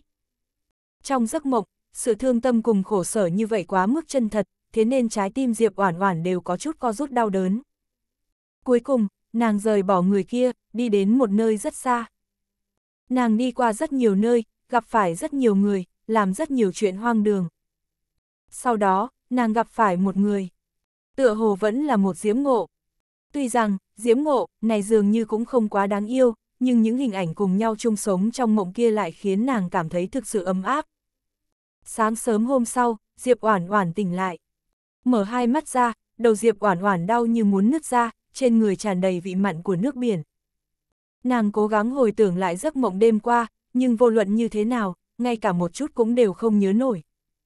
Trực giác nói cho Diệp Oản Oản biết, giấc mộng kia, đối với nàng mà nói, vô cùng trọng yếu. Không biết tại sao, chính mình lại không nhớ nổi trong mơ nhìn thấy cái gì. Chờ thân thể hơi hơi hồi sức lại một chút, Diệp Oản Oản đứng dậy, đi ra ngoài hướng về phía núi rừng. Mảnh núi rừng này, không biết thuộc về khu vực nào, cũng không được tính là khá lớn. Nửa ngày sau, Diệp Oản Oản rốt cuộc đi ra khỏi sơn lâm. Chương 1272, tóc húi cua ca trở về Đại Thảo Nguyên. Đối với Độc Lập Châu, Diệp Oản Oản có thể nói là không biết gì cả. Thời điểm trước đây tại Hoa Quốc, nàng từng chủ động tra cứu những tài liệu trên mạng có liên quan tới Độc Lập Châu, nhưng mà lại không có thu hoạch. Ước chừng vào buổi trưa, Diệp Oản Oản lúc này mới đi vào khu vực thành phố. Kiến trúc thành thị của Độc Lập Châu cũng vô cùng tương tự như Hoa Quốc, trên đường ngựa xe như nước, dòng người xe cộ qua lại không dứt, vô cùng náo nhiệt. Ở bất kỳ chỗ nào trên đường phố, đều có cửa hàng vũ khí nhìn có vẻ cổ xưa, thậm chí có thể nghe thấy thanh âm đại hán mình trần nện cây búa lớn lên những khối sắt để rèn vũ khí. Diệp Oản Oản vừa đi vừa nghỉ, giống như phát hiện ra một châu lục mới, trên mặt mang theo vẻ hiếu kỳ nồng đậm. Phong cách của độc lập châu mặc dù vô cùng tương tự như Hoa Quốc, nhưng về bản chất lại có một số điểm khác biệt, nội tình văn hóa võ đạo lại vô cùng đặc sắc, mang theo một luồng khí tức văn hóa võ đạo xa xưa cổ kính. Mà một số kiến trúc, lại khá tương tự phong cách Tây Phương, như đấu trường, sàn đấu thú các loại. Đi ở trên đất của Độc Lập Châu, Diệp Oản Oản có thể cảm nhận được văn hóa dị vực cực kỳ đặc biệt. Nơi này chính là quê hương của đường đường và đám người nhiếp vô danh à. Diệp Oản Oản hướng về bốn phương tám hướng quan sát, trong miệng khẽ lẩm bẩm. Không thể không nói, ngược lại thật đúng là một quốc gia thần kỳ. Chỉ chốc lát sau, Diệp Oản Oản đi tới cạnh một quán rượu dừng lại, mùi thơm đậm đà từ bên trong tủ lâu truyền ra. Thẳng đến giờ phút này, Diệp Oản Oản bị cảm giác đói bụng bủa vây, lúc này mới ý thức được, nàng đã ước chừng hai ngày không có gì lót dạ. Thời điểm trước đó khi ngồi thuyền đến Độc Lập Châu, bởi vì say sóng, nàng cơ hồ chưa ăn thứ gì. Sau thuyền bè gặp rủi ro, Diệp Oản Oản nhảy xuống biển, trừ một khẩu súng ra, tất cả mọi thứ toàn bộ đều mất ở trong biển, bao gồm cả thẻ căn cước cùng thẻ ngân hàng, V, V. Bây giờ, trên người của Diệp Oản Oản không có lấy một xu, phỏng chứng ngay cả ăn mày cũng đều có chỗ không bằng. Tại nơi xứ lạ, vật tùy thân toàn bộ đều rơi sạch, hai ngày chưa ăn cơm. Còn có chuyện nào kinh khủng hơn so với chuyện này sao? Tự nhiên là có, nơi xứ lạ này, là độc lập châu. Không lâu lắm, một vài người nam nữ mặc kỳ phục màu trắng đi qua đi lại, trước ngực treo huy chương có cảm giác vô cùng nghiêm trang, sau lưng in mấy chữ lớn, võ đạo liên minh, to chừng khoảng bàn tay. Mấy ngày nay, đội giám sát của võ đạo liên minh xuất hiện có chút thường xuyên. Một vài người đi đường nhìn thấy thành viên của võ đạo liên minh, dối rít dừng bước, lấy ra giấy thông hành độc lập châu. Một đoạn thời gian trước, có một ít kẻ ngoại lai lén lút thâm nhập, bị võ đạo liên minh công hội phát hiện, cho nên, mấy ngày nay, việc kiểm tra được thực hiện tương đối thường xuyên. Tôi thấy đây không chỉ là chuyện của những kẻ ngoại lai kia. Gần đây, hành động của không sợ minh cũng rất là thường xuyên. Trong một tháng, quanh đây có 6 cái võ đạo thế gia, đã bị không sợ minh phát ra thất sát lệnh. Nói tới thất sát lệnh, sắc mặt không ít người đi đường dối giết đại biến. Không sợ minh chính là thế lực công hội có danh tiếng cực lớn tại Độc Lập Châu. Chỉ bất quá, danh tiếng cực kém, đừng nói những thứ võ đạo thế gia thông thường, coi như tứ đại gia tộc của Độc Lập Châu, cũng không quá nguyện ý trêu chọc. Thời kỳ cường thịnh của không sợ minh, đại khái là khoảng chừng 7 năm trước, ở dưới sự dẫn dắt của minh chủ không sợ minh tóc húi cua ca, không sợ minh trở thành thiên đường của những kẻ liều mạng, bao nhiêu người cùng hung cực ác chen lấn gia nhập không sợ minh. Thậm chí, nhiều năm trước, có một nhóm đại lão lý lịch cực khủng bố, là những lính đánh thuê cấp độ SS chưa bao giờ tuân theo quy tắc lính đánh thuê, gia nhập không sợ minh. Chỉ bất quá, những năm gần đây, theo việc minh chủ không sợ minh tóc húi cua ca mất tích, thực lực không sợ minh giảm bớt rất nhiều, đã không bằng năm xưa. Nhưng dù cho là vậy, ba chữ không sợ minh, đối với độc lập châu mà nói, nhất là khu vực này, vẫn là như sấm bên tai, thật giống như ác mộng thực sự tồn tại. chương 1273, Thế gia cấp bá chủ. Trong tháng gần nhất, không sợ Minh phát ra thất sát lệnh đối với 6 võ đạo thế gia. Phàm là người nhận được thất sát lệnh, trong vòng 7 ngày nhất định sẽ bị không sợ Minh hủy diệt cả gia tộc. Bây giờ, đã có võ đạo thế gia khắp nơi bị không sợ Minh thật sự hủy diệt, chỉ còn lại hai nhà. Thích, võ đạo liên minh công hội, tại sao không đem thế lực như không sợ Minh diệt trừ, quả thật thứ gây họa. Diệt trừ, làm sao có thể, độc lập châu cũng không có những thứ như quy củ hay luật lệ, không sợ Minh cũng không sử dụng súng ống, cũng không hề không tuân theo quy tắc của liên minh. Dựa theo lý giải với không sợ Minh, chuyện này cũng là thuộc về ân oán cá nhân. Võ đạo liên minh công hội không thể xen vào, huống chi, ai sẽ nguyện ý đi trêu chọc không sợ Minh. Người của không sợ Minh, toàn bộ đều là do thứ liều mạng tạo thành. Một đám kẻ điên liều mạng, có tin hay không, nếu như võ đạo liên minh công hội dám quản chuyện của không sợ Minh, không sợ Minh thậm chí dám cùng võ đạo liên minh công hội khai chiến. Diệp Oản Oản đứng ở một bên, nghe có người nhắc tới không sợ Minh, ngược lại có chút hứng thú. Còn nhớ lại thời điểm khi ở tại Hoa Quốc, chính mình đã từng gặp phải mấy vị tráng hán. Mấy vị tráng hán kia dường như chính là thành viên của không sợ Minh. Chỉ bất quá, thật giống như là bởi vì để sổng một con chó hay là cái gì đó, nên đã bị trục xuất khỏi không sợ Minh. Đối với những tán gẫu của người đi đường, Diệp Oản Oản cũng đều nghe lọt vào trong tai. Bây giờ, đối với bố cục của Độc Lập Châu, cũng ít nhiều hiểu được đại khái. Độc Lập Châu, bây giờ ở ngoài sáng, thế lực cường đại nhất, là nhiếp, kỳ, lăng, thẩm tứ đại võ đạo thế gia, nắm trong tay gần như một nửa tài nguyên của Độc Lập Châu. Tứ đại thế gia này, tại Độc Lập Châu, là bá chủ ở mặt nổi. Không ai không biết, không ai không hiểu. Trong đó, kỳ gia hơi đặc thù một chút, người thừa kế kỳ gia, là hoàng giả cả thế giới ngầm ở châu Âu, người ta gọi là kỳ hoàng. Đương nhiên, tứ đại thế gia chỉ là võ đạo thế gia cấp bá chủ độc lập châu ở bề nổi, mà âm thầm, cũng không thiếu võ đạo thế gia cổ xưa lánh đời, 10 phần thần bí. Trừ tứ đại gia tộc ra, vẫn có tồn tại thế lực chấp chính của độc lập châu. Hết thảy quy tắc, đều là do thế lực chấp chính này của độc lập châu tự tạo ra. Mà thế lực chấp chính này, chính là võ đạo liên minh công hội của độc lập châu. Những việc như khu trừ người ngoại lai, kiểm tra giấy thông hành và những thứ vặt vãnh, v, v, đều là do võ đạo liên minh công hội phụ trách tiến hành. Dù cho tứ đại gia tộc, cũng không có cách nào dung chuyển địa vị của võ đạo liên minh công hội. Trừ võ đạo thế gia ra, điểm đặc sắc phong phú nhất của độc lập châu chính là học viện lính đánh thuê. Học viện lính đánh thuê so với những trường học thông thường hoàn toàn bất đồng. Lính đánh thuê được học viện bồi dưỡng, là sát thủ tài năng lạnh giá vô tình, rất nhiều người đạt đến cấp S trở lên. Thậm chí còn có những sát thủ lên được bảng lính đánh thuê huyền thoại, rất nhiều đều là từ học viện lính đánh thuê bồi dưỡng mà thành. Sau khi nắm được đại khái bố cục của độc lập châu, Diệp Oản Oản suýt xoa không thôi. Cái được gọi là độc lập châu này, quả thật là tuyệt không thể tả. Cả thế giới, độc lập châu này, chỉ sợ là tồn tại độc nhất vô nhị rồi. Giờ phút này, Diệp Oản Oản bỗng nhiên chú ý tới, trong tứ đại võ đạo thế gia cấp bá chủ của độc lập châu, còn có một thế gia họ nhiếp. Không biết thế gia họ nhiếp này, có quan hệ với nhiếp vô danh hay không? Chỉ bất quá, khi ngẫm lại dạng nghèo kiết xác của đám người nhiếp vô danh cùng nhất chi hoa, nếu như nói bọn họ cùng nhiếp ra có quan hệ gì, chỉ sợ nói ra cũng không có một người nào sẽ tin tưởng. Tự nhiên, Diệp Oản Oản cũng không suy nghĩ nhiều, cho dù nhiếp vô danh cùng nhiếp ra có quan hệ, nàng bây giờ muốn tiếp xúc được cái loại tầng thứ như nhiếp ra này, căn bản chính là nằm mơ giữa ban ngày. Thế gia cấp bá chủ độc lập châu, cũng không phải là nơi tùy tiện người nào cũng có thể đi chương 1274, đều thân thiện như vậy sao? Diệp Oản Oản đứng tại chỗ, đột nhiên cảm giác được có cái gì không đúng. Chỉ thấy một vị thành viên của võ đạo liên minh công hội, ánh mắt một mực dừng lại ở trên người Diệp Oản Oản. Không bao lâu, thành viên võ đạo liên minh công hội tiến lên, chậm rãi đi tới bên người Diệp Oản Oản, quan sát Diệp Oản Oản mấy lần, chợt mở miệng nói, "Khu nào?" Nghe lời nói này, Diệp Oản Oản nhất thời sửng sốt một chút.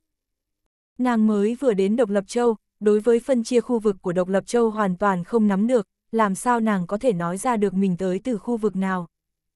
Thấy Diệp Oản Oản không hề mở miệng nói chuyện, chân mày người đàn ông hơi nhíu lại, giấy thông hành.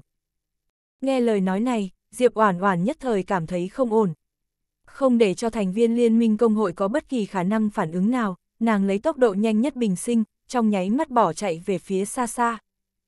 Chính mình đào đâu ra giấy thông hành độc lập châu, bây giờ ngược lại thì hay rồi, bị thành viên võ đạo liên minh công hội phát hiện ra.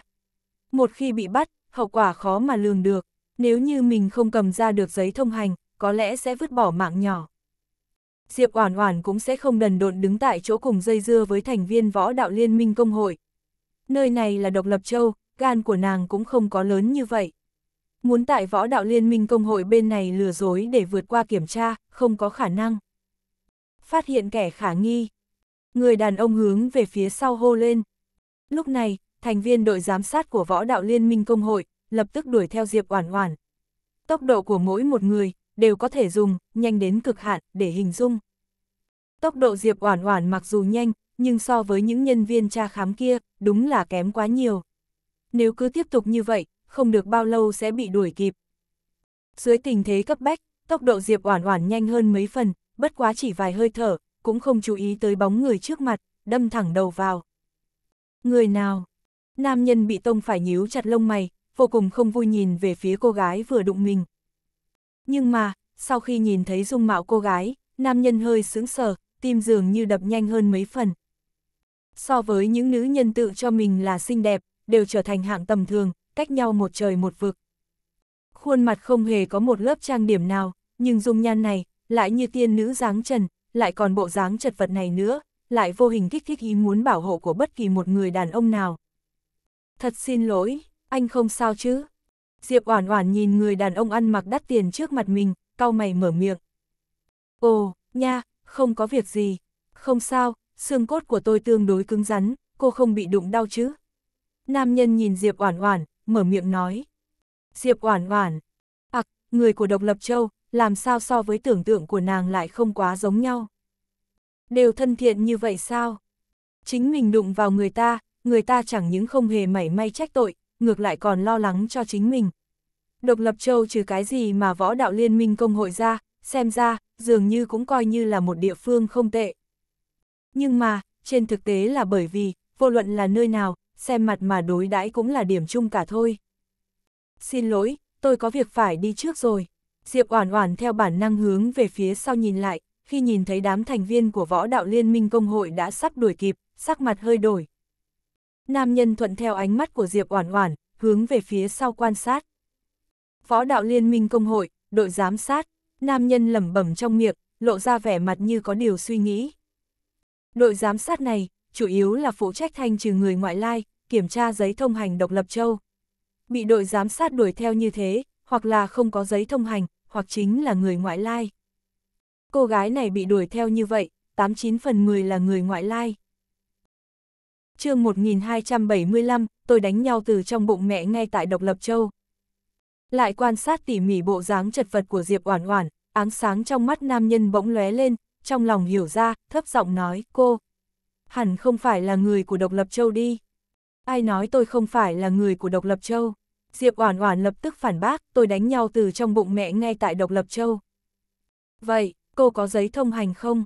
Là khu nào? Nam nhân cười đầy hàm ý hỏi.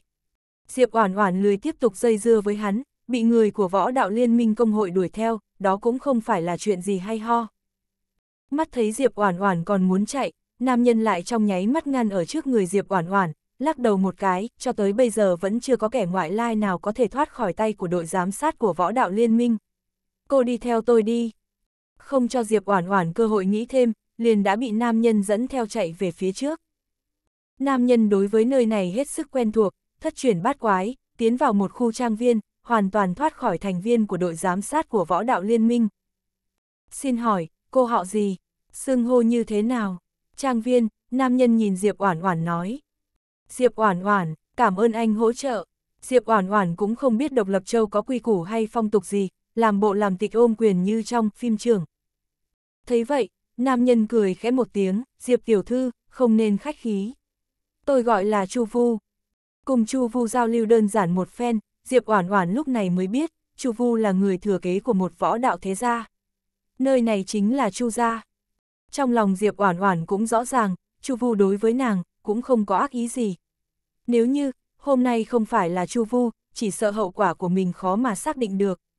Với tốc độ của đội giám sát của võ đạo liên minh kia mà nói, mình muốn chạy thoát, dường như xác suất xảy ra là rất nhỏ. Diệp tiểu thư, tôi không biết là cô tới Độc Lập Châu là để du ngoạn, tham quan hay là có mục đích gì khác, bất quá. Diệp tiểu thư tốt nhất nên sớm có tính toán. Độc Lập Châu vô cùng bài xích người ngoại lai, rất nhiều người ngoại lai, đều chết ở Độc Lập Châu. Chu Vu nhìn Diệp Oản Oản, mở miệng nói. Vậy, anh không bài xích người ngoại lai sao? Diệp Oản Oản có chút hiếu kỳ. Nghe vậy, Chu Vu lắc đầu một cái, Diệp tiểu thư nói đùa, ông nội tôi lúc còn trẻ cũng là người ngoại lai. Bất quá, khi đó quy tắc của độc lập châu vẫn còn tương đối lỏng lẻo. Trải qua cố gắng, ông nội tôi lúc này mới tại độc lập châu sáng lập ra Chu gia. Chu gia chúng tôi cũng không bài xích người ngoại lai, vốn là cùng chung nguồn cội cơ mà. Thì ra là như vậy, Diệp Oản Oản gật đầu, khó trách người tên Chu Vu này sẽ nguyện ý giúp đỡ mình. Diệp Tiểu Thư không có giấy thông hành, rất khó đi đi lại lại ở Độc Lập Châu. Nếu như Diệp Tiểu Thư không ngại, trước hết ở lại chỗ này mấy ngày. Nghe vậy, Diệp Oản Oản cũng không từ chối. Chính mình vừa tới Độc Lập Châu, chưa quen cuộc sống nơi đây, rất nhiều chuyện đều không minh bạch. Lại cộng thêm chính mình đều mất sạch mọi thứ tùy thân, đến buổi tối, sợ rằng ngay cả một điểm dừng chân mình cũng không có. Như vậy, không tốt lắm đâu, Diệp Oản Oản nói.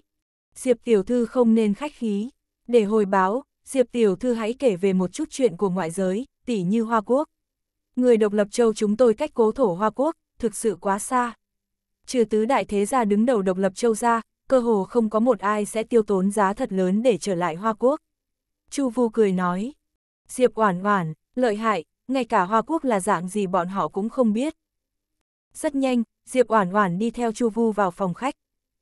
Không bao lâu, sau khi Chu gia gia chủ cùng phu nhân nhận được tin tức, rối rít đi tới phòng khách. Đối với Diệp Oản Oản, gia chủ cùng phu nhân cũng vô cùng khách khí, không ngừng hỏi thăm một ít chuyện ở Hoa Quốc. Chu gia gia chủ sinh ra ở Độc Lập Châu, chưa bao giờ rời đi, đối với cố hương Hoa Quốc của mình, hết sức tò mò. Diệp Oản Oản ngược lại cũng không keo kiệt, nghe vậy, toàn bộ đều kể ra. Hoa Quốc có TV, TV chính là bên trong sẽ có người, có cảnh vật, bla, bla. Diệp Oản Oản vừa ăn thức ăn Chu Vu chuẩn bị, vừa hướng về mấy người gia chủ nói. Chu gia gia chủ mặt đầy mộng bức nhìn Diệp Oản Oản, độc lập châu chúng tôi. Cũng có TV. Ồ, đúng rồi, Hoa Quốc có xe, chính là loại có người ngồi ở phía trên lái đi vòng quanh. Chu gia gia chủ tiếp tục mặt đầy mộng bức, độc lập châu. Cũng có xe, xe lớn, xe con, xe thể thao, xe đua, xe địa hình. Độc lập châu bọn họ, cũng không phải là nơi khép kín lạc hậu quá nhiều so với thế giới, có được hay không? chương 1276, đến tìm người. Nhìn thấy thần sắc cổ quái của Chu gia gia chủ cùng phu nhân, Diệp Oản Oản quả thực có chút lúng túng. Có lẽ, trình độ văn minh của độc lập châu, thật ra thì cũng không kém hơn các quốc gia chung quanh, chẳng qua là những hạng mục giải trí hơi lạc hậu ở phía sau một chút. Về mặt khoa học kỹ thuật, độc lập châu trừ không sử dụng súng ống cùng hàng nóng ra, những thứ khác ngược lại cũng vô cùng tốt. Đương nhiên, văn minh của độc lập châu là nhằm phát triển võ đạo, đối với người của độc lập châu mà nói, hết thảy những thứ được ưu tiên phát triển, đều là võ đạo. Tạm gác những suy nghĩ về độc lập châu sang một bên, Diệp Oản Oản lần nữa trò chuyện cùng Chu gia gia chủ và phu nhân về một ít sự kiện gần đây ở Hoa Quốc, thật sự khiến hai người hứng thú mười phần. Hồi lâu sau, Chu gia gia chủ nhìn Diệp Oản Oản, hiếu kỳ hỏi, "Diệp tiểu thư, cô là người nước Hoa, khoảng cách từ Hoa Quốc đến Độc Lập Châu, thực sự là rất xa." Diệp tiểu thư không để ý vượt muôn sông nghìn núi, đi tới Độc Lập Châu, chẳng lẽ chỉ là vì du ngoạn tham quan. Ngày trước, ngược lại cũng có một vài khách tham quan từ nước khác, biết được Độc Lập Châu có tồn tại, len lén chạy đến Độc Lập Châu. Bất quá, kết quả của những vị khách tham quan kia, tựa hồ cũng tính là quá tốt. Độc Lập Châu bài xích ngoại vật, mấy chục năm gần đây, càng ngày càng tăng. Diệp Oản Oản trầm tư chốc lát, thành thật nói, thật không dám giấu giếm, tôi tới Độc Lập Châu cũng không phải là vì du ngoạn tham quan, mà là đến tìm người. Tìm người. Nghe được lời này của Diệp Oản Oản, Chu gia gia chủ cùng phu nhân đều sửng sốt một chút. Chuyện đi đến Độc Lập Châu tìm người, quả thật là xưa nay mới nghe nói tới lần đầu. Đúng rồi. Diệp Oản Oản dùng giấy bút viết xuống một dãy số điện thoại, sau đó đi tới bên cạnh Chu gia gia chủ cùng phu nhân, nói, xin hỏi, các người có biết khu vực của số điện thoại này không? Số điện thoại này, chính là số mà nàng phát hiện trong thư phòng tư Dạ hàn, trước đó đã dùng điện thoại di động của nhiếp vô danh gọi thử, nhưng sau đó đã tắt nguồn, không cách nào gọi được nữa. Thứ này, thật giống như không có ấn tượng gì. Chu gia gia chủ nhận lấy tờ giấy Diệp Oản Oản đưa tới, quan sát chốc lát, chợt lắc đầu một cái. Phu nhân, nàng thấy sao? Rất nhanh, Chu gia gia chủ đem điện thoại đưa cho phu nhân. Đây chính là số điện thoại di động của Độc Lập Châu, nhưng tôi cũng không nhận ra là ở chỗ nào. Chu gia phu nhân nói. Để con xem một chút. Giờ phút này, Chu Vu đứng dậy, cầm lấy tờ giấy quan sát. Có thể là Vân Thành, nhưng cũng chưa chắc. Chu Vu mở miệng, nhưng cũng không mấy xác định. Vân Thành, Diệp Oản Oản mặt đầy mộng bức, trước mắt khu vực nàng đang ở cũng không biết tên gì. Thông qua trò chuyện với nhau, Diệp Oản Oản từ trong miệng của gia đình Chu Vu biết được đại khái phân chia khu vực của Độc Lập Châu. Trước đây Độc Lập Châu chia làm 6 khu vực lớn, tứ đại thế gia mỗi nhà chiếm một khu, võ đạo liên minh công hội chiếm hai đại khu. Chỉ bất quá, đại khái khoảng 30 năm trước, Độc Lập Châu bùng nổ ra một cuộc nội chiến. Sau đó, bởi vì yêu cầu phát triển, 6 khu vực lớn hợp thành một khu thống nhất, tên là Vân Thành, trình độ sầm uất, giống như đế đô của Hoa Quốc, là một thành phố lớn trọng yếu nhất của Độc Lập Châu. Hiện nay, vị trí khu vực của Diệp Oản Oản chính là ngoại ô chung quanh Vân Thành. Vân Thành tuy chỉ là một thành phố, nhưng là 6 khu vực lớn nguyên bản thống nhất, lớn vô cùng, còn lớn hơn cả đế đô Hoa Quốc, bao gồm tứ đại thế gia, võ đạo liên minh công hội, tam đại học viện lính đánh thuê cùng một số công hội lính đánh thuê cực kỳ nổi danh, trụ sở chính tất cả đều được đặt tại Vân Thành. Giống như là Chu Gia, tại khu vực này, cũng có chút danh vọng, nhưng nếu như đến Vân Thành, lại như là muối bỏ biển. Bất kỳ một võ đạo thế gia nào, muốn dừng bước tại Vân Thành, đều là khó như lên trời.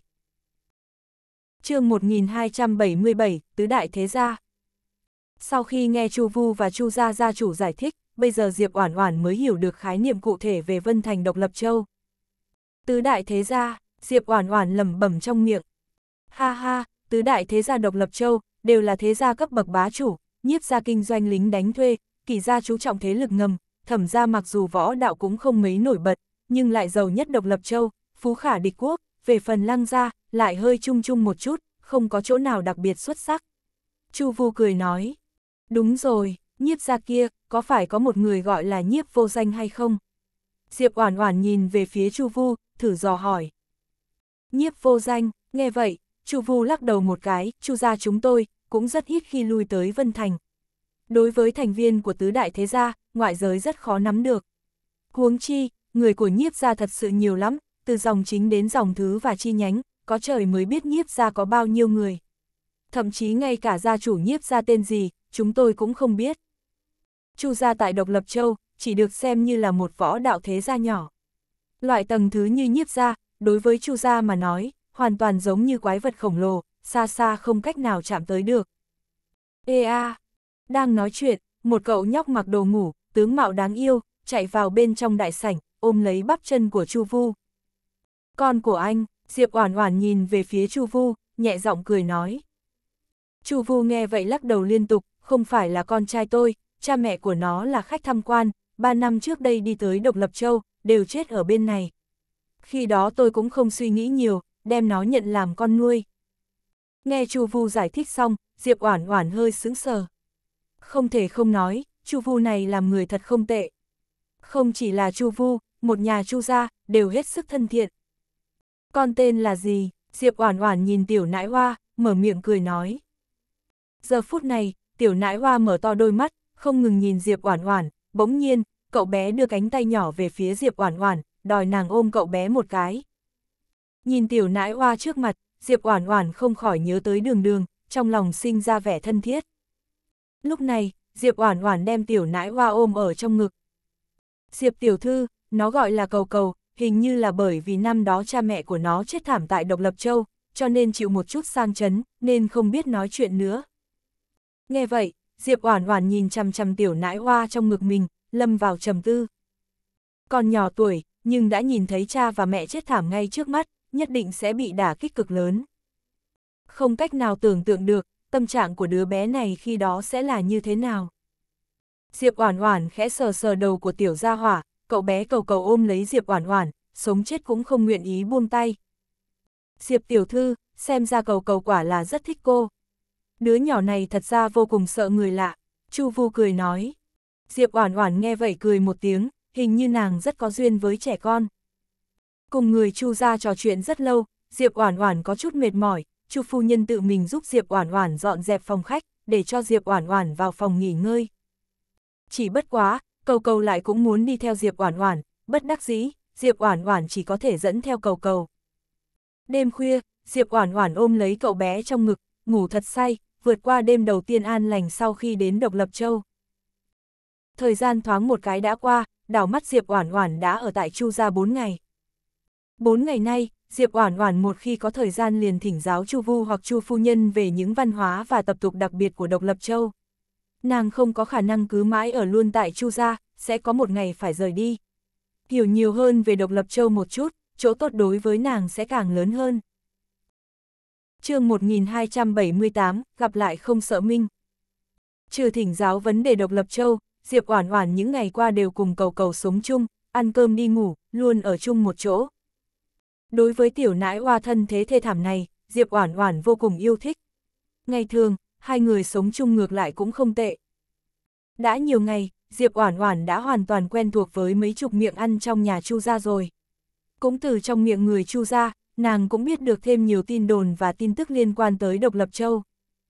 Mà Diệp Oản Oản chỉ phụ trách làm một số việc lặt vặt của Chu gia mà thôi. Trong ngày thường, nàng sẽ ra ngoài mua một chút thức ăn, thuận tiện dắt mấy con chó săn mà Chu gia nuôi đi dạo, về, về cũng không thể cứ ăn uống chùa tại Chu gia. Đương nhiên, tiền mua thức ăn đều là Chu phu nhân đưa cho Diệp Oản Oản. Nguyên bản, Diệp Oản Oản cho rằng Độc Lập Châu là một nơi khép kín, lạc hậu hơn nhiều so với thế giới, chẳng qua là trình độ văn minh võ đạo khá cao.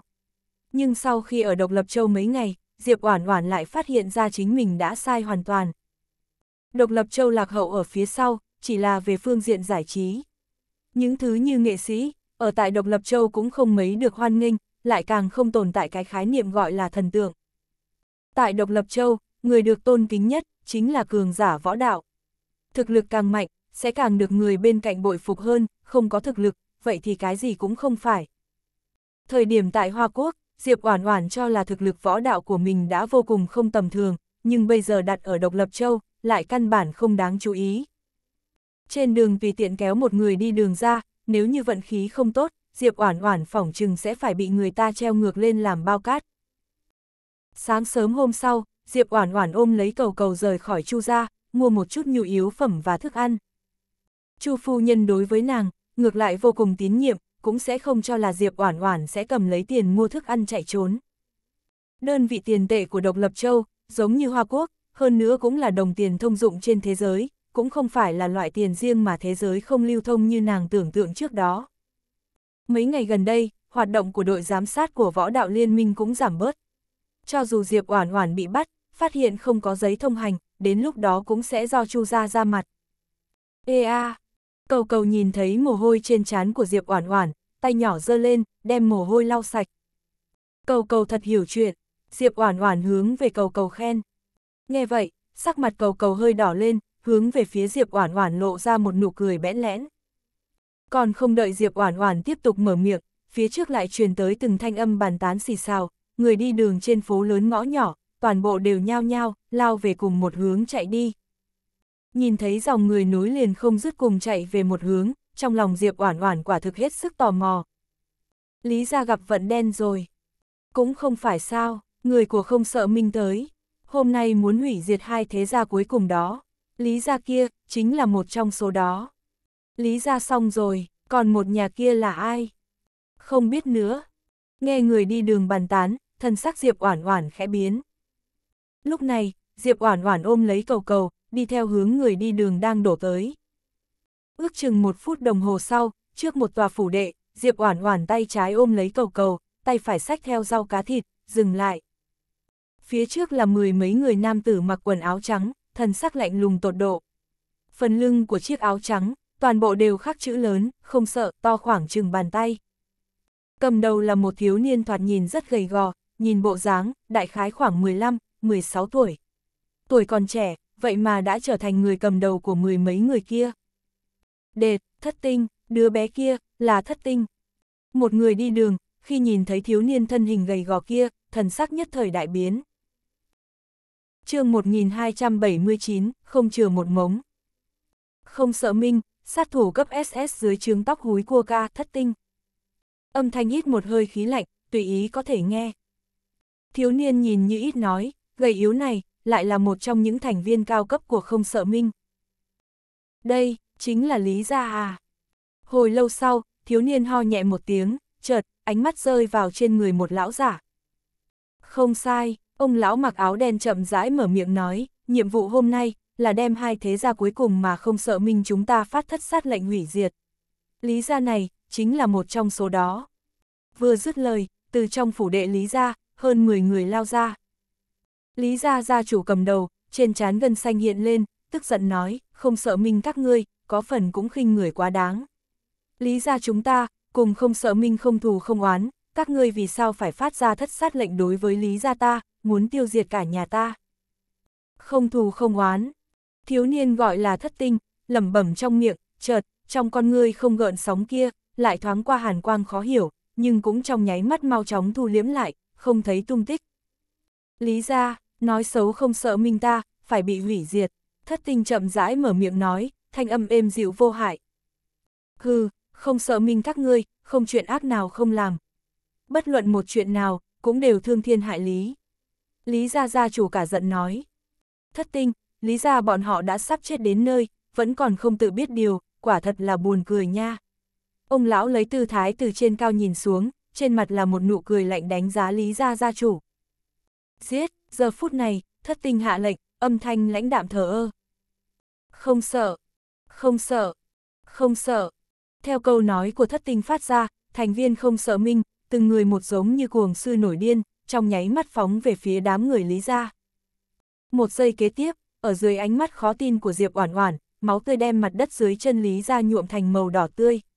Bất quá chỉ mười mấy vị thành viên của không sợ minh, đối mặt với hơn 10 vị võ giả lý gia, căn bản không sợ hãi chút nào. Thời gian chỉ vừa đủ nháy con mắt, lý gia chết hơn nửa. Cái loại thiếu niên nho nhỏ như ngươi, tuổi tác không lớn, lại độc ác như thế. Ngươi đáng chết. Bỗng nhiên, Lý Gia Gia chủ nhảy lên một cái, cả người thật giống như bay lên không trung, trong nháy mắt lao tới bên người thất tinh, một trường đánh thẳng về việt thái dương của cậu ta. Nhưng mà, không biết đã xảy ra chuyện gì, thiếu niên thất tinh, cả người trong nháy mắt biến mất tại chỗ, không thấy tăm hơi. Thật là nhanh. Đứng ở đằng xa vây xem, Diệp Oản Oản tim đập loạn lên, tốc độ của thất tinh, thật sự là sắp chạm đến cực hạn, ngay cả mắt thường của nàng cũng khó mà thấy rõ. Ngươi, là đang tìm ta sao? Thanh âm của thất tinh, chậm rãi nói ra. Còn không đợi Lý Gia Gia chủ kịp hành động, đỉnh đầu của hắn, thật giống như bị một ngọn núi đổ xuống.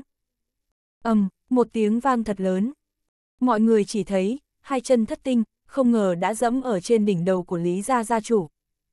Thiếu niên đứng chắp tay, phiêu giật tự nhiên, thần sắc lãnh đạm thờ ơ như băng, trong mắt là một sự bình tĩnh đến đáng sợ, thật giống như không mang theo bất kỳ tình cảm nhân loại nào ở bên trong.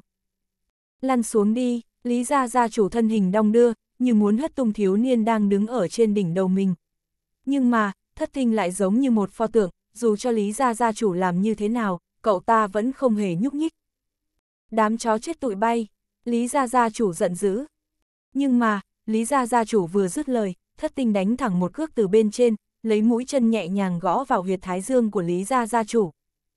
Một giây kế tiếp, Lý Gia Gia chủ sắc mặt trắng bệch, trong miệng cũng không kịp nói ra nửa câu, chợt, cả người, ầm, một tiếng té ngã trên đất, bị một cước của thất tinh đánh chết. Thành viên Lý Gia thấy Lý Gia Gia chủ trong nháy mắt bị giết chết, nhất thời rối tung lên. Một người không để lại. Thất tinh nhảy xuống đất, lãnh đạm thờ ơ mở miệng. chương 1280, Nguy cơ. Xa xa, Diệp Oản Oản ôm thật chặt cầu cầu, che kín hai mắt của cậu bé. Lần này, Diệp Oản Oản rốt cuộc ý thức được, độc lập châu kinh khủng đến bực nào. Công khai chu diệt.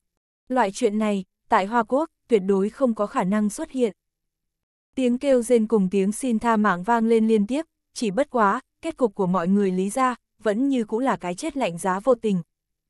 Trước đây tại Hoa Quốc, Diệp Oản Oản đã từng gặp được người của không sợ minh, nhưng lại chưa bao giờ nghĩ tới, không sợ minh tại Độc Lập Châu, lại hung tàn đáng sợ đến như vậy. Bên ngoài lý ra, thi thể đầy đất, làm lòng người hoảng sợ, khó mà hồi phục được. Cảnh tượng như tu la địa ngục như thế này, đời này Diệp Oản Oản cũng là lần đầu tiên thấy được, trong lòng khó tránh khỏi có chút không thoải mái. Chỉ chốc lát sau, Diệp Oản Oản ôm lấy cầu cầu, xoay người rời đi, cũng không nhìn nổi nữa. Võ đạo liên minh, mặc dù được xưng là thế lực chấp chính của độc lập châu, cũng được tứ đại võ đạo thế gia chính thức công nhận, nhưng võ đạo liên minh công hội cũng không để ý loại ân oán cá nhân giữa các thế lực như thế này. Chỉ chốc lát sau, Diệp Oản Oản rốt cuộc trở lại Chu gia. Oản Oản, sắc mặt sao lại khó coi như vậy? Chu phu nhân thấy thần sắc Diệp Oản Oản không đúng, lập tức rót ly nước, vô cùng đau lòng đi tới bên cạnh nàng. Mới vừa rồi, lúc tôi đang quay về, nhìn thấy không sợ Minh rồi. Diệp Oản Oản nhận lấy ly nước Chu phu nhân đưa tới, đem nước trong ly một hơi uống cạn sạch. Nghe lời nói này, sắc mặt Chu phu nhân và Chu gia chủ đều biến đổi. Không sợ Minh kia, quả thật đáng sợ.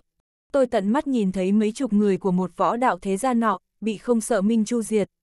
Diệp Oản Oản nhíu chặt lông mày. Hai, loại chuyện này rất thường gặp tại Độc Lập Châu. Cho nên, Độc Lập Châu, đối với những người ngoại lai như cô mà nói, tuyệt đối không phải là địa phương tốt lành gì. Chu gia gia chủ thở dài một tiếng nói. Còn không đợi Diệp Oản Oản tiếp tục mở miệng, Chu Vu nhanh chóng đi vào phòng khách, sắc mặt trắng bệch, trong tay nắm chặt một tấm thẻ màu đen. Ba, mẹ, con, con mới vừa ở trong phòng của cầu cầu, phát hiện ra vật này. Chu Vu nói xong, đưa tấm thẻ màu đen ra. Cái gì? Nhìn thấy tấm thẻ màu đen trong tay Chu Vu, Chu gia gia chủ trong nháy mắt mặt xám như cho tàn. Không sợ Minh, thất sát, thất sát lệnh, chuyện này làm sao, làm sao có thể, Chu phu nhân suýt nữa chết ngất tại chỗ. Phàm là võ đạo thế gia nhận được thất sát lệnh của không sợ Minh, cho đến nay, không có lấy một cái nào, có thể tiếp tục tồn tại.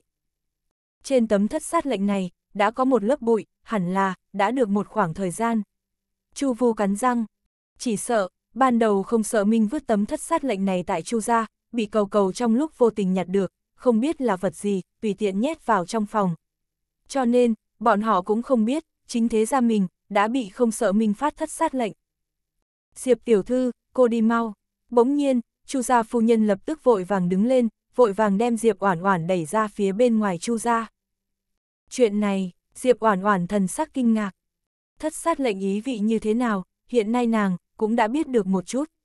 Liền thí dụ như Lý gia trước đây, chính là bởi vì nhận được thất sát lệnh của không sợ minh, mới có thể bị diệt môn. Đi mau, không nên ở lại tại Chu gia. Chu gia gia chủ cũng vội vàng mở miệng. Nếu như, thời điểm không sợ minh đến nơi, Diệp Oản Oản còn tiếp tục lưu lại Chu gia, kết quả sẽ không tưởng tượng nổi. Không sợ Minh tuyệt đối không quản nàng có phải là người của Chu gia hay không. Dẫn cầu cầu cùng đi.